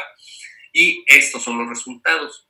El tiempo hacia la reducción fue de 12 meses, a descontinuación 28 meses. La recurrencia fue de 12.4%. Sin embargo, cerca de 190 pacientes ahí todavía no terminaban su seguimiento. Es decir, no se sabe qué ocurrió con esos 190 pacientes porque el estudio terminó cuando casi 200 pacientes estaban todavía en seguimiento, pero este 12% es bastante bajo y más aún, importantemente, 95% de los pacientes lograron tener un año libre de crisis en algún momento de su seguimiento. Puede haber sido al final, en medio, al principio, pero lograron tener un año con libertad de crisis y había peor pronóstico si se trataban de reducir o descontinuar los medicamentos pronto antes de la cirugía, o sea, si el tiempo era corto. En conclusión de los autores es que la descontinuación de medicamentos no necesariamente afecta el resultado y que se necesita un estudio, un estudio aleatorio y controlado, lo cual es posiblemente correcto. La realización de un estudio aleatorio y controlado, cuando la diferencia es de menos de 10 o del 12%, va a requerir de números muy, muy grandes de participación, pero mucha gente ha estado mencionando que la importancia de poder llevar a cabo un estudio aleatorio, controlado, con rigor, para, eh, esperemos, definitivamente al final ya eh, concluir eh, con bastantes bases sólidas si se debe o no descontinuar medicamentos y en qué pacientes. En, el, en un estudio de más larga duración, de más de 5 a 10 años de, de metaanálisis que hicimos con José Telles en el 2006-2007. Estos son los resultados. Eh, veo que no se puede observar muy bien el número aquí, pero en la mediana de pacientes sin crisis y sin medicamentos era del 22%, y esos son eh, eh, a largo plazo entre 5 a 10 años. O sea, de estos pacientes se podrían considerar que son, entre comillas, curados porque no han tenido crisis y no tienen medicamentos y el número es 22%. Pero es un, completamente observacional eh, este estudio a largo plazo. Entonces, el resumen de la cirugía de epilepsia es, eh, es un poco difícil de interpretar también, pero la recurrencia es de alrededor de 41% extratemporal, 22% temporal readquieren control en general entre 65 a 80% de los pacientes en quienes se reinicia el tratamiento. Importante señalar que en el estudio de niños que mostré anteriormente, el estudio multicéntrico europeo, eh, con 700 niños, la gran mayoría logra eh, restablecer control si han tenido recurrencia. Entonces, queda todavía no claro cuándo se inicia el cambio, porque es muy variable eh, y va desde inmediato después de la cirugía hasta dos años después. Y con cuatro estudios controlados de recurrencia, eh, se ven estas cosas, de entre 28 a 29%, si descontinúa o no descontinúa, y por lo tanto no hay diferencia. Es decir, hay una gran incertidumbre en este aspecto con relación a la evidencia, la cual además es de una calidad baja en general.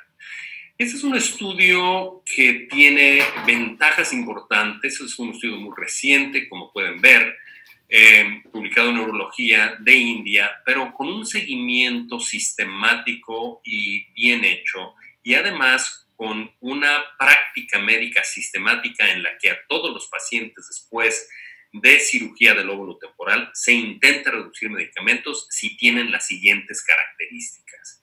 Si tienen crisis unilaterales, esclerosis temporal mesial unitemporal, o si es normal, se requiere que tenga crisis febriles y que tenga puntas y crisis registradas con video EG unilaterales consistentemente, la operación es lobectomía temporal y se, y se estudiaron hasta cinco años de seguimiento con descontinuación de fármacos tres meses después si tenía un solo medicamento, un año si era más de un medicamento, con una tasa de reducción de aproximadamente 16% cada.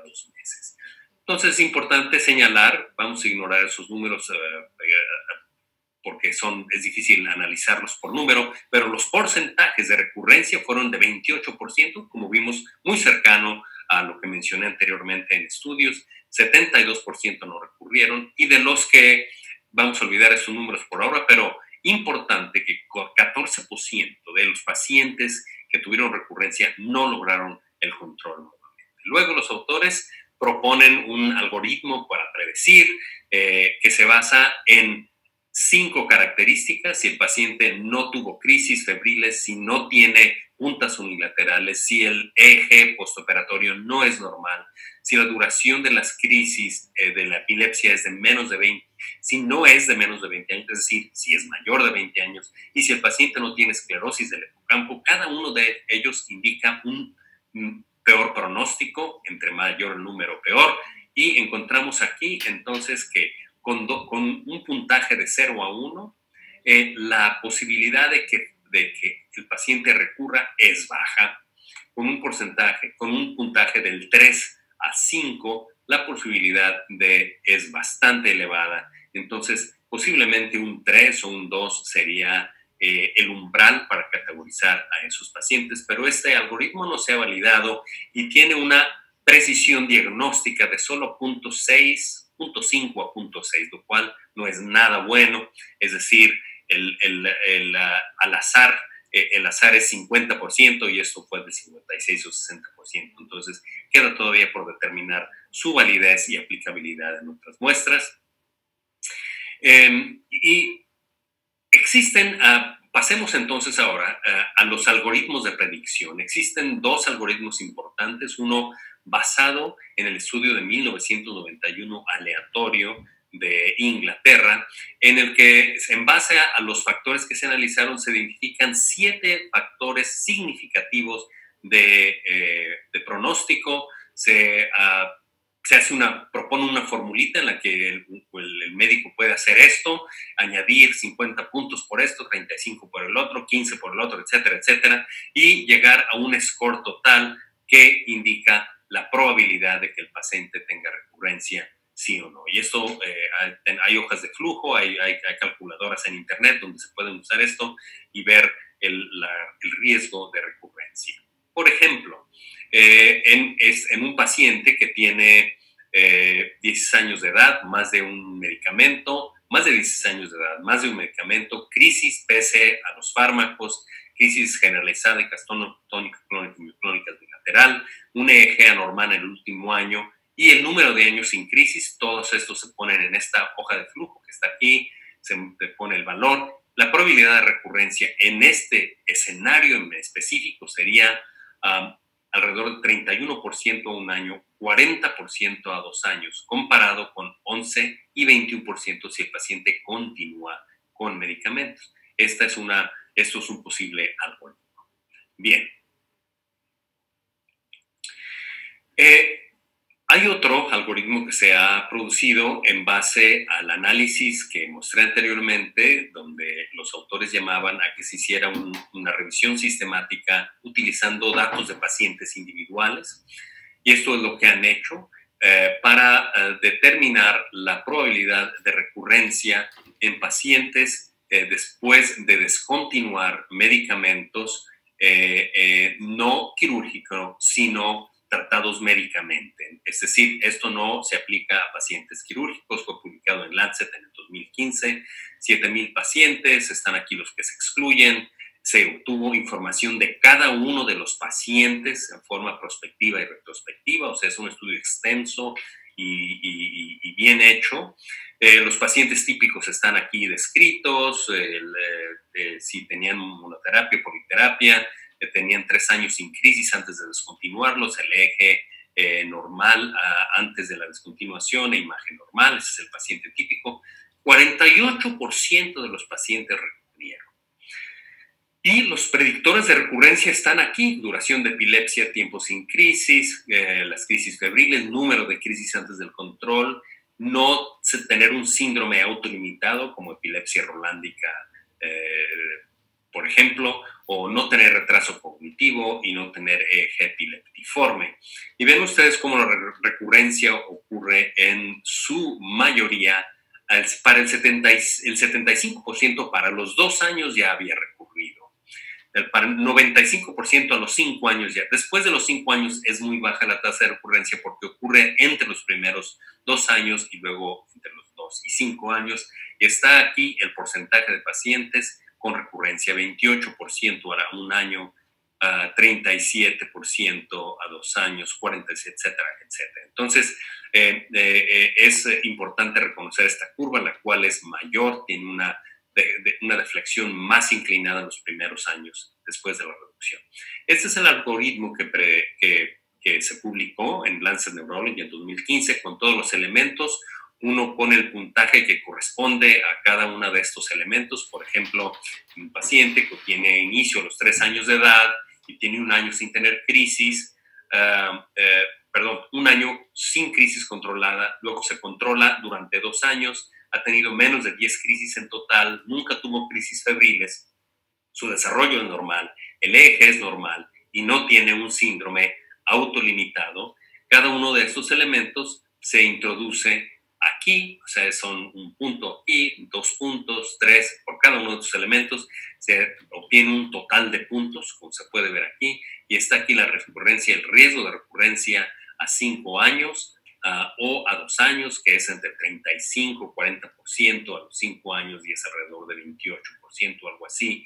Eh, está aquí, 28% a los dos años y 37% a los cinco años. Entonces, este eh, algoritmo es, eh, puede ser útil, está, lo pueden ustedes ver en, en, en, este website que tenemos en nuestra unidad de investigación y donde se introducen esos elementos y pueden obtener un puntaje al final. Aquí es donde se introducen. Eh, si les interesa, hay otros sitios donde, donde también está disponible este, eh, este algoritmo. Entonces, si regresamos al, paciente inicial con el cual abrimos la, la discusión del hombre de 28, 28 años con crisis focales con alteración de conciencia, progresión a bilaterales tónico-crónicas desde los 6 años de edad, ponemos los elementos pronósticos que con referencia al algoritmo del estudio aleatorio inglés, esta es la posibilidad de recurrencia de crisis a los 40, a los, al año y a los dos años, es decir, 55% a los dos años. Si usamos el otro algoritmo, el algoritmo reciente, eh, que les acabo de, mencionar eh, dos transparencias antes, la recurrencia es muy similar, pero mayor, 59% a dos años comparado con 55% y a cinco años aún mayor, 71%. Por ende, estas, eh, estas cifras son bastantes, bastante, sólidas, bastante serias, y es algo que discutíamos con nuestro paciente. Yo utilizo estos algoritmos en forma rutinaria. Cuando el paciente insiste que quiere descontinuar medicamentos, pues, se le presenta la evidencia, el paciente puede decidir si, si eh, quiere tomar ese riesgo o no. Si vamos con el, segundo caso, la mujer de 40 años que tuvo crisis de los 28, solo tuvo tres crisis entre los 28 y los 36 años, todas fueron generalizadas tónico-clónicas con, sin ningún otro factor de riesgo. Vemos aquí como aún con factores de poco riesgo, dada la edad a la que inicia de 28 años, que es muy importante, es decir, no es una epilepsia típica, eh, no es un síndrome de epilepsia idiopática generalizada que inicia en la juventud, se inicia mucho más tarde, eh, etcétera, y además de, tener un eje anormal, aumenta el puntaje, y aquí el riesgo de recurrencia es entre 30 a 40% al año o dos años con ese algoritmo. con el algoritmo del metaanálisis que acabo de mencionar, es aún mayor, a dos años casi 80%, a cinco años casi 90%. Es decir, lo que parece ser una epilepsia tan, tan relativamente leve y benigna tiene un alto riesgo de recurrencia si se descontinúan los medicamentos. Y quisiera terminar con esta eh, diapositiva en la que se muestran algunos factores de perfil de alto riesgo en pacientes tratados médicamente Alto riesgo de recurrencia si se descontinúan los medicamentos, no los voy a leer cada uno de ellos, eh, pero los dejo ahí un momento. Y un perfil de alto riesgo para el paciente postquirúrgico libre de crisis si se considera reducir medicamentos y esos son crisis tempranas, crisis generalizadas crónicas por más de un año por historia, resonancia magnética no lesional o normal, una resección incompleta, la etiología de displasia cortical, a diferencia, por ejemplo, de un tumor de bajo grado u otra, o esclerosis temporal mesial, y el que sea cirugía extratemporal. Con eso quisiera agradecer de nuevo la oportunidad eh, que me han dado para dirigirme a ustedes y les deseo lo mejor, les deseo bienestar, salud eh, y cuídense mucho durante este tiempo a ustedes, a sus seres queridos eh, y que tengan un buen congreso. Muchas gracias.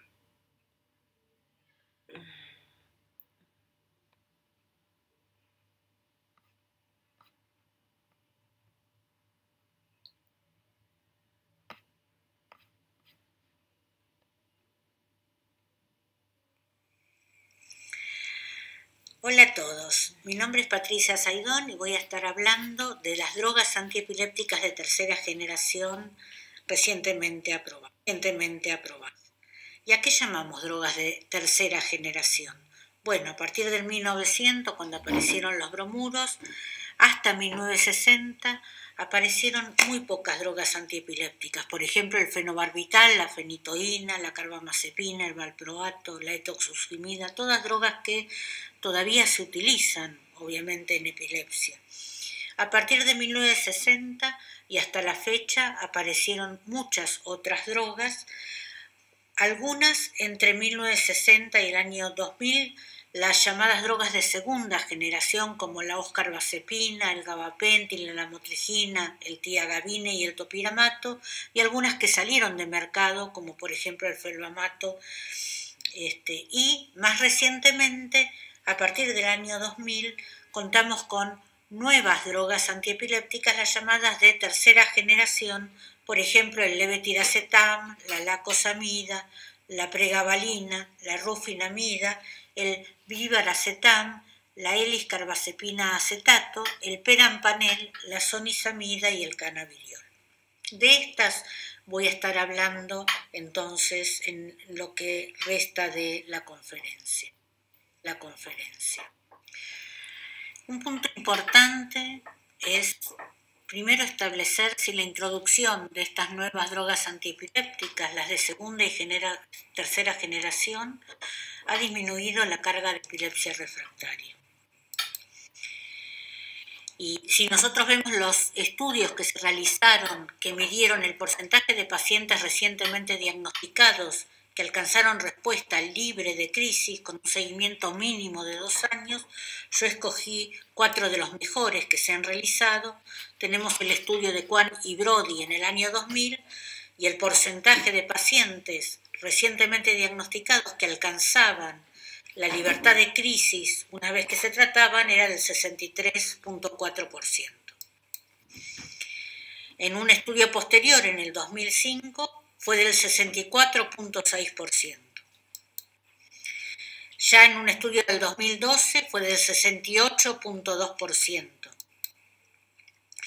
Y más recientemente, en el año 2015, fue del 63.7%. Es decir, las nuevas drogas antiepilépticas no disminuyeron la carga de epilepsia refractaria. La carga de epilepsia refractaria de los pacientes que no estuvieron libres de crisis y que continuaron con crisis después del tratamiento fue similar entre el año 2000 y el año 2015 y en el medio aparecieron muchísimas nuevas drogas.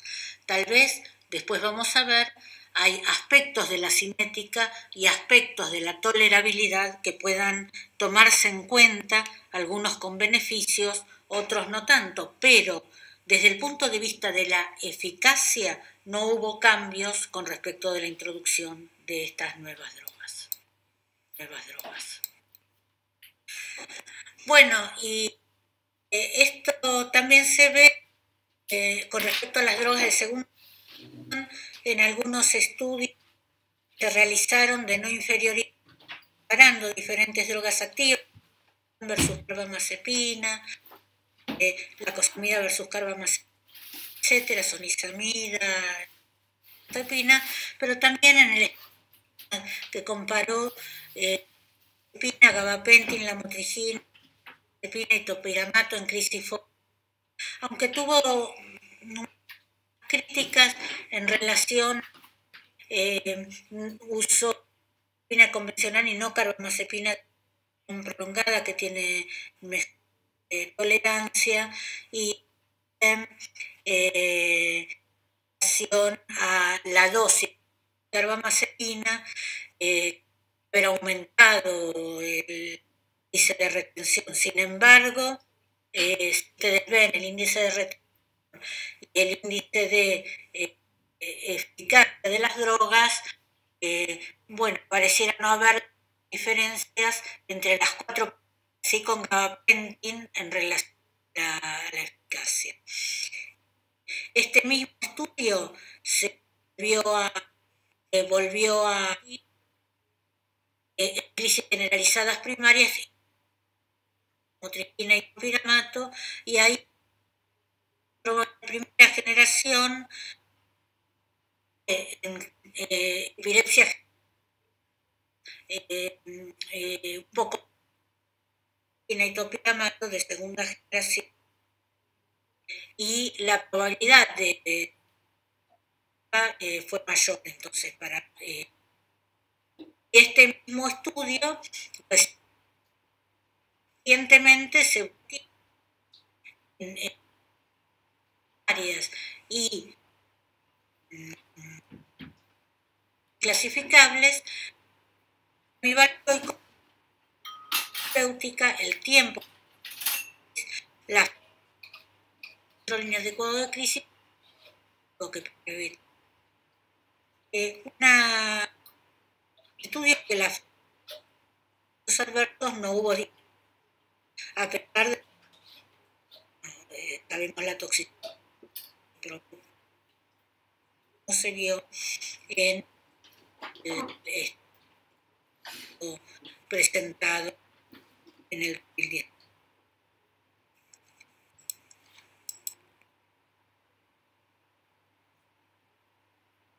desde el punto de vista del mecanismo de la liberación eh, de las vesículas sinápticas, exocitosis de neurotransmisores. El receptor eh, excitatorio y a citosis de ese neuro neuronal, neuronal.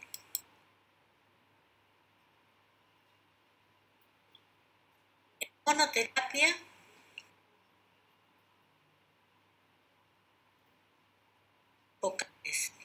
También en terapia adjunta.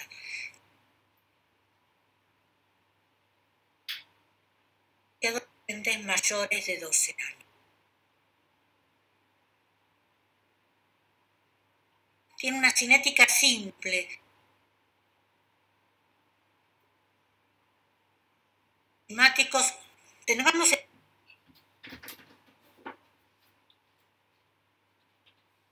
sin inductores enzimáticos ejemplo, la carbamazepina, no barbital. Como tiene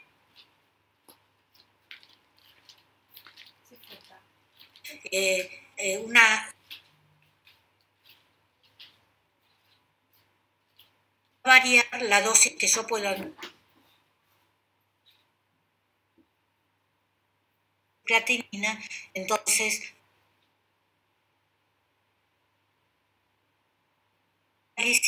la dosis de 500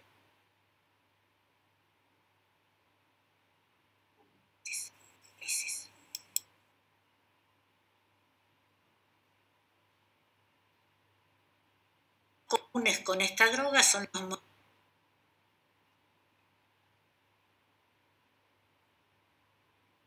es una droga que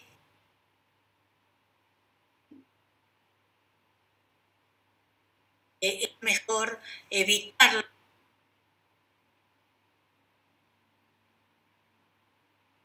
esta ideación suicida.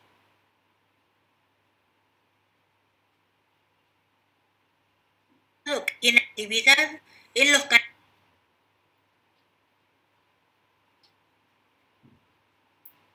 de estudio, porque cuando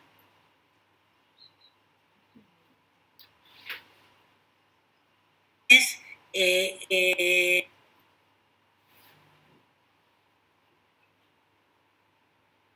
y de esa manera eh, la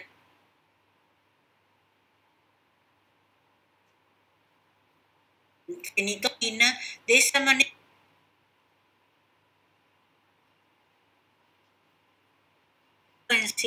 y de esta manera también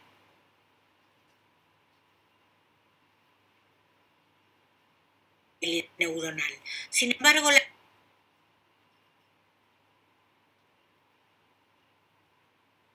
dependiente, sino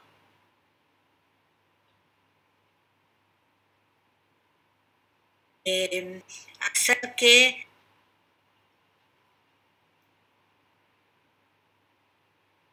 entonces de esta manera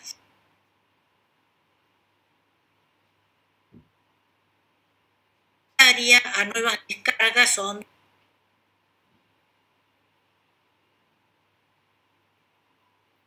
actúa sobre estos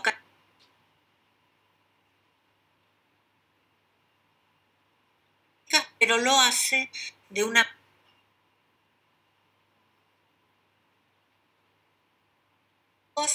eh, sea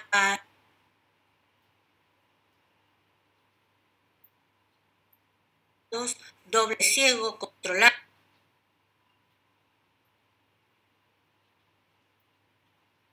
miligramos en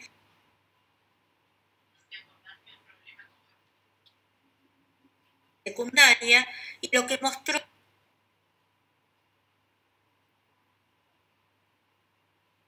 mirar como pueden ver ahí.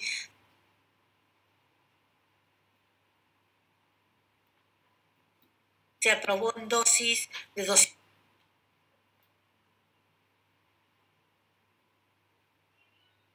máxima la eficacia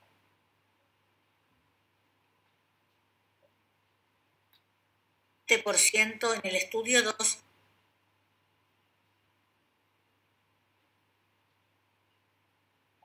que eh,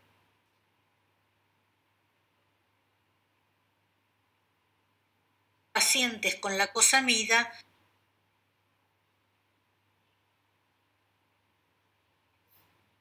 en comparación en el estudio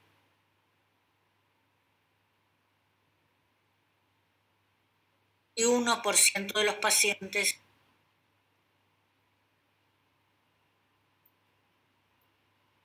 en las crisis de inicio.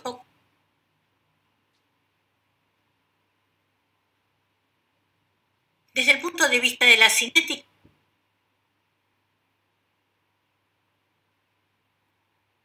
una droga inductora encima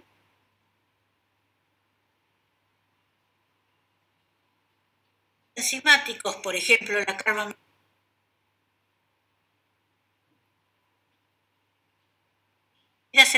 un 20 a 25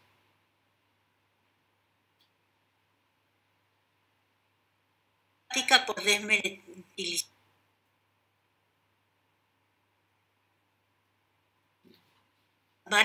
el vértigo, la cefalea.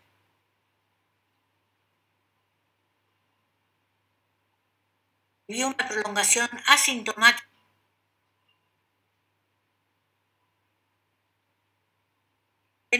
pero entonces hay que usarlo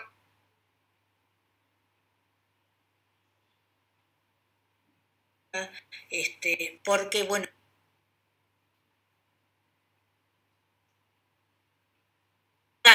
de esta prolongación.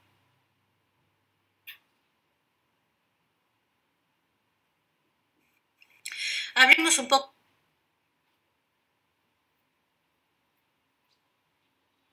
es un antagonista no competitivo.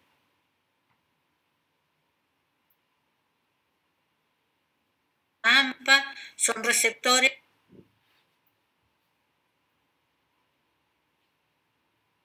eh,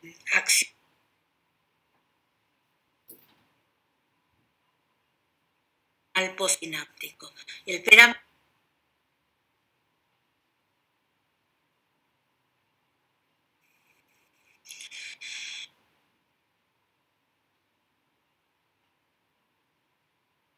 les llamamos estudios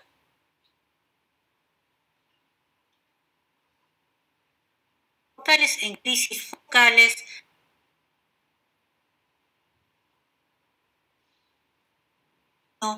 eh, de terapia adjunta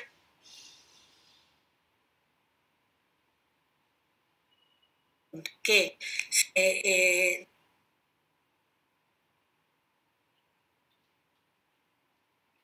eh, dosis.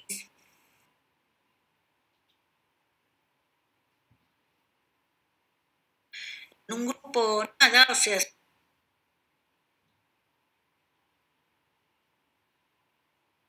placebo y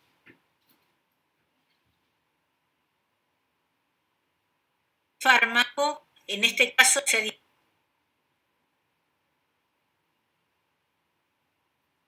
eh, dos primeros estudios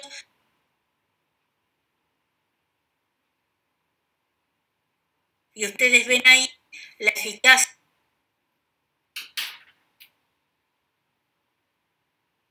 eh, logró un placebo.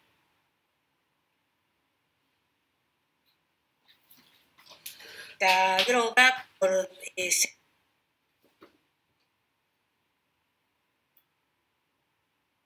eh, en un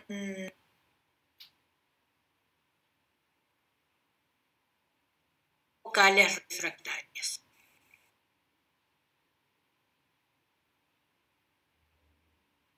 Autores, los años de realización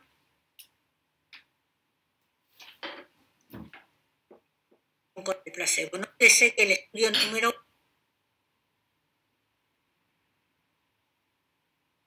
a realizar eh, al otro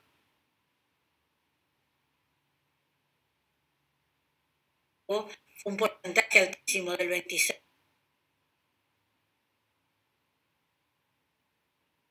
Que muy alto, porque normalmente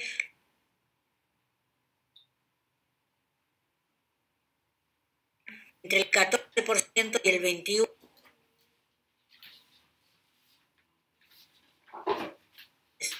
Eh, finalmente, eh,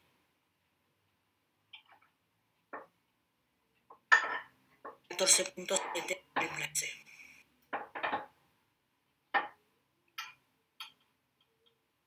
En crisis tónico-clónica generalista,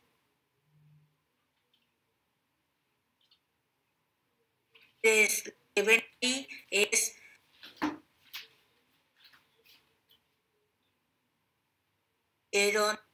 más de eh, aquellos que disminuyeron al 100% la crisis y aquellos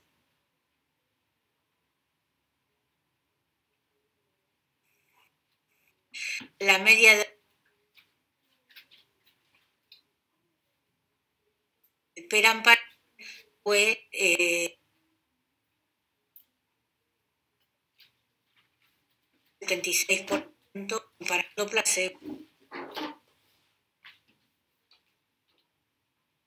Indicaciones que aprobaron fueron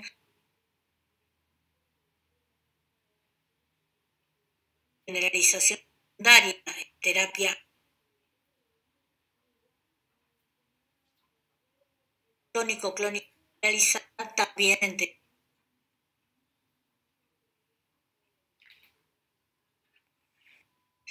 gran panel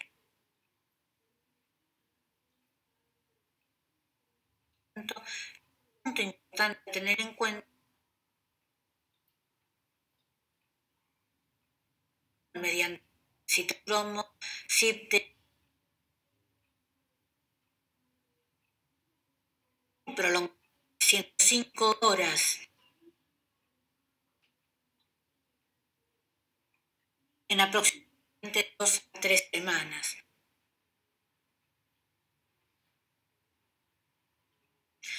Un fármaco exclusivo, pero también un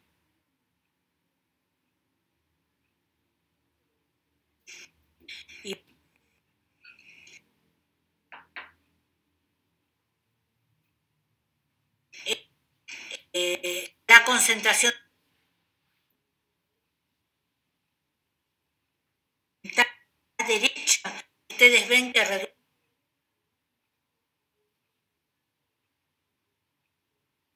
que aumenta y esta es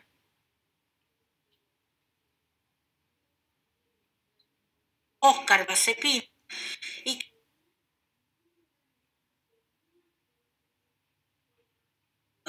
algunas drogas en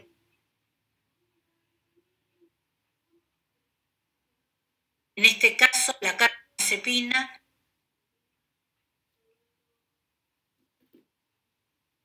la Oscar y pentoína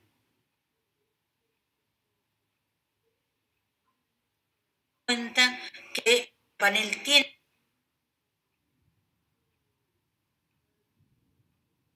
del porcentaje, pero sí que con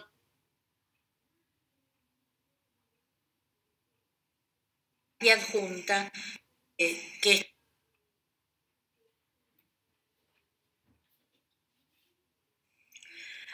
les puse con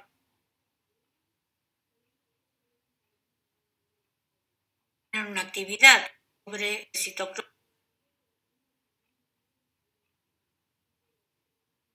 sistema enzimático es el que más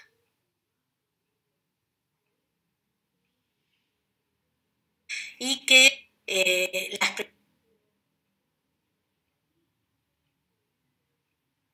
metabolismo de las, de las eh,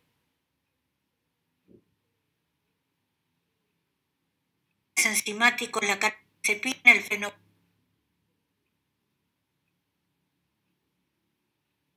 Eh, tercera generación, el PERAMPA.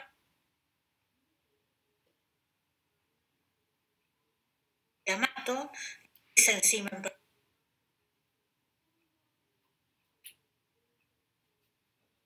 el levetiracetam, el GABA.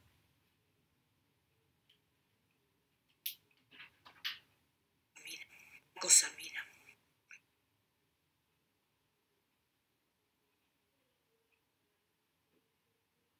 Horas, la dosis va a ser de 8.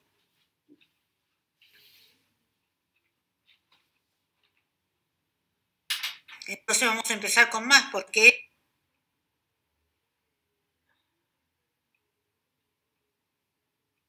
sin embargo se llega a la misma concentración.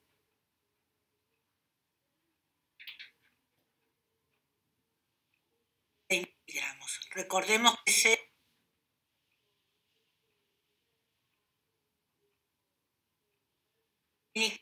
controlados.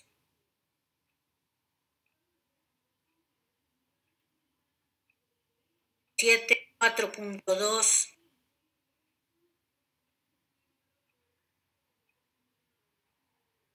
Mayor toxicidad. Eh,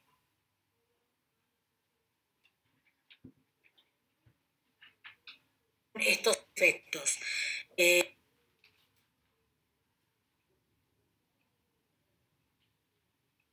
aumento de peso. Eh,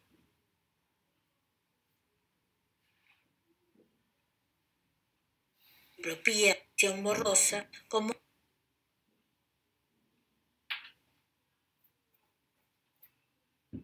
algunos casos de síndrome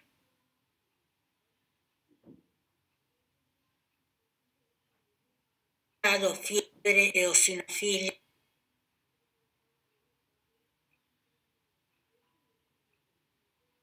El mecanismo eh, de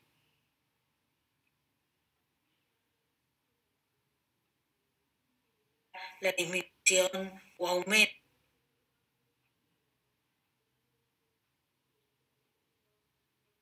independiente para el DRES y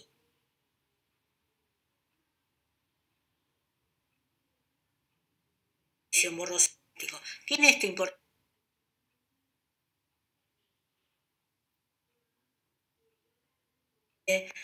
Mejorar.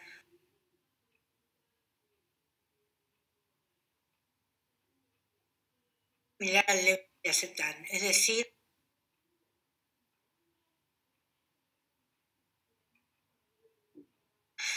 están implicadas en la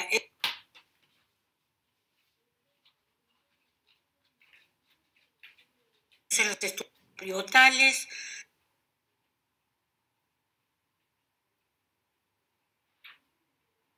de punta que comparan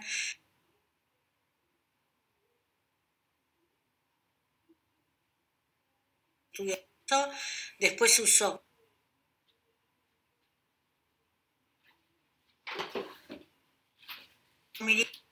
entonces fue entre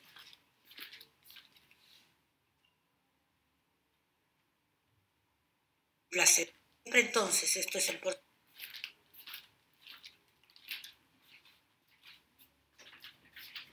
indicada en la terapia adjunta de crisis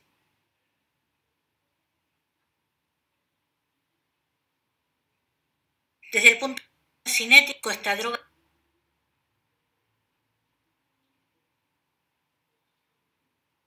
concentraciones que se metabolizan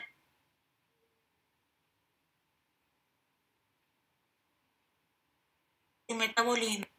Es una droga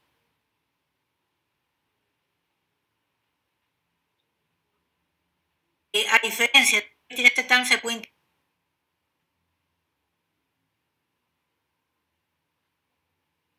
dosis. Mm, eh,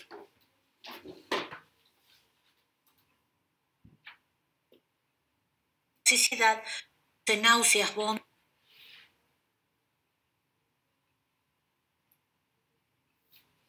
Producir irritabilidad, pero esta es menor también.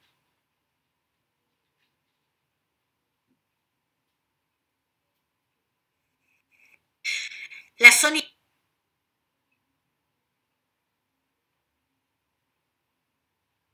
en ese mecanismo de los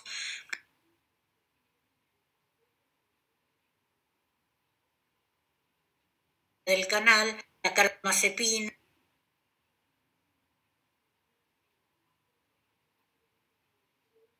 muchas son las drogas que actúan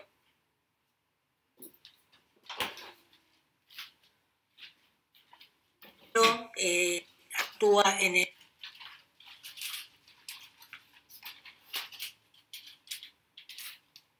que disminuye eh,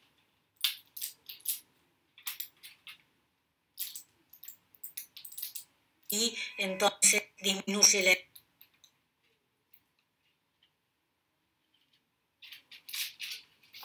eh, tres estudios pivotales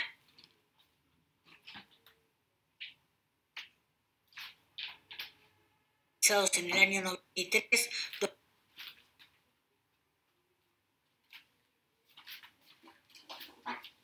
por ciento de las crisis, un 34 en los otros estudios.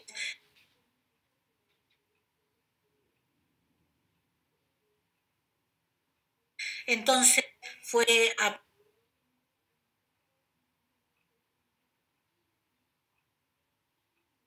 adjunta a una dosis de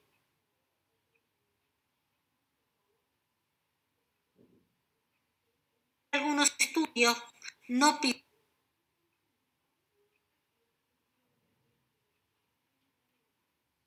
se eh, dieron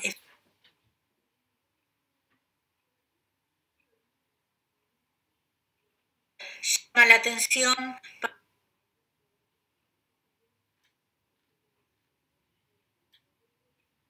horas, ojo porque si lo dan con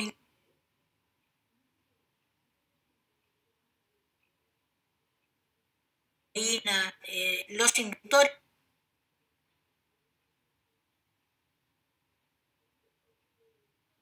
El metabolismo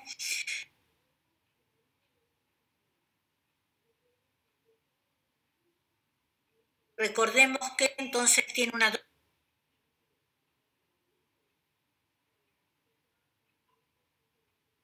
mantenimiento está en los 200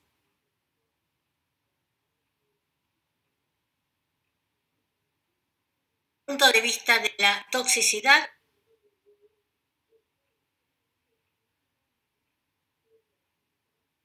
es eh, también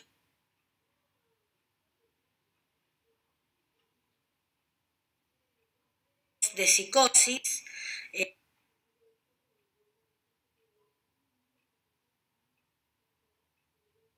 eh, la oligodihidrosis e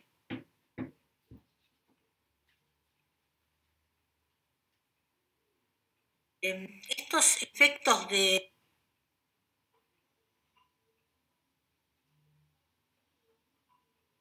hacen recordar en alguna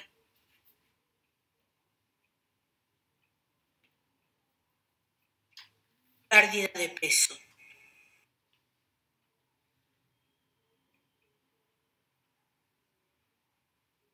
Acetato tiene un mecanismo de acción.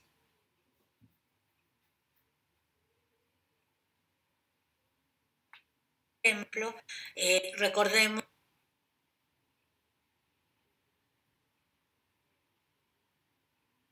estabiliza la membrana y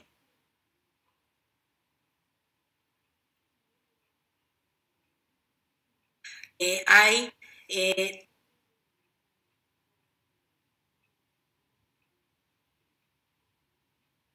sin generalización secundaria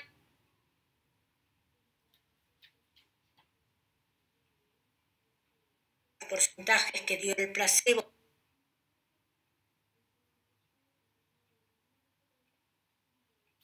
...400, 800 y 1200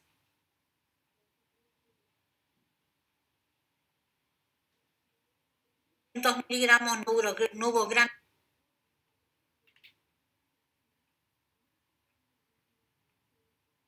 entonces eh, ahí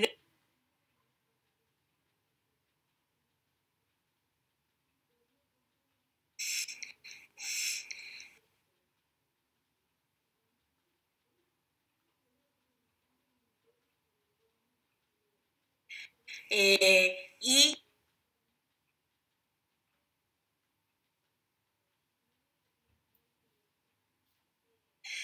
eh, se aumenta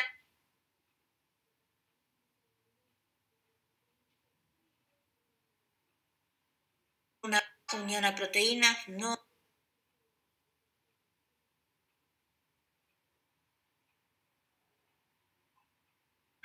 una vida media de 13 a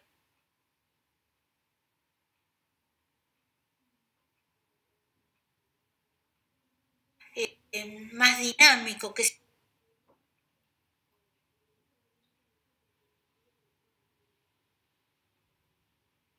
exposición a los metabolitos.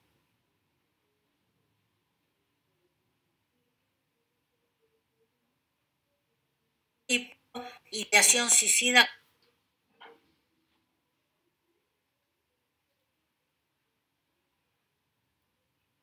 hiponatremia mayor en pacientes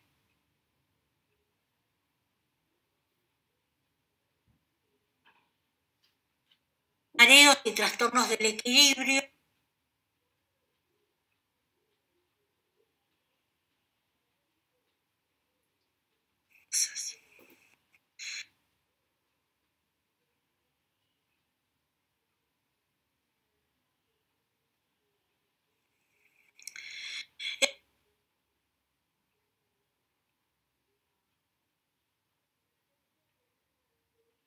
controlados con placebo en terapia.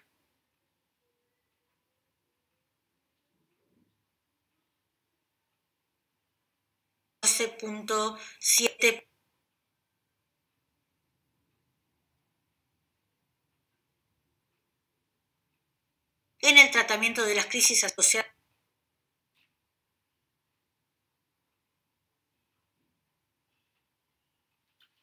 La cinética subida media es de 6 a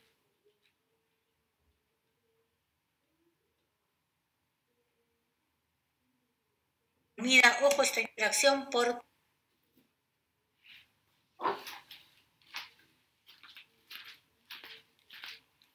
eh, tiene una capacidad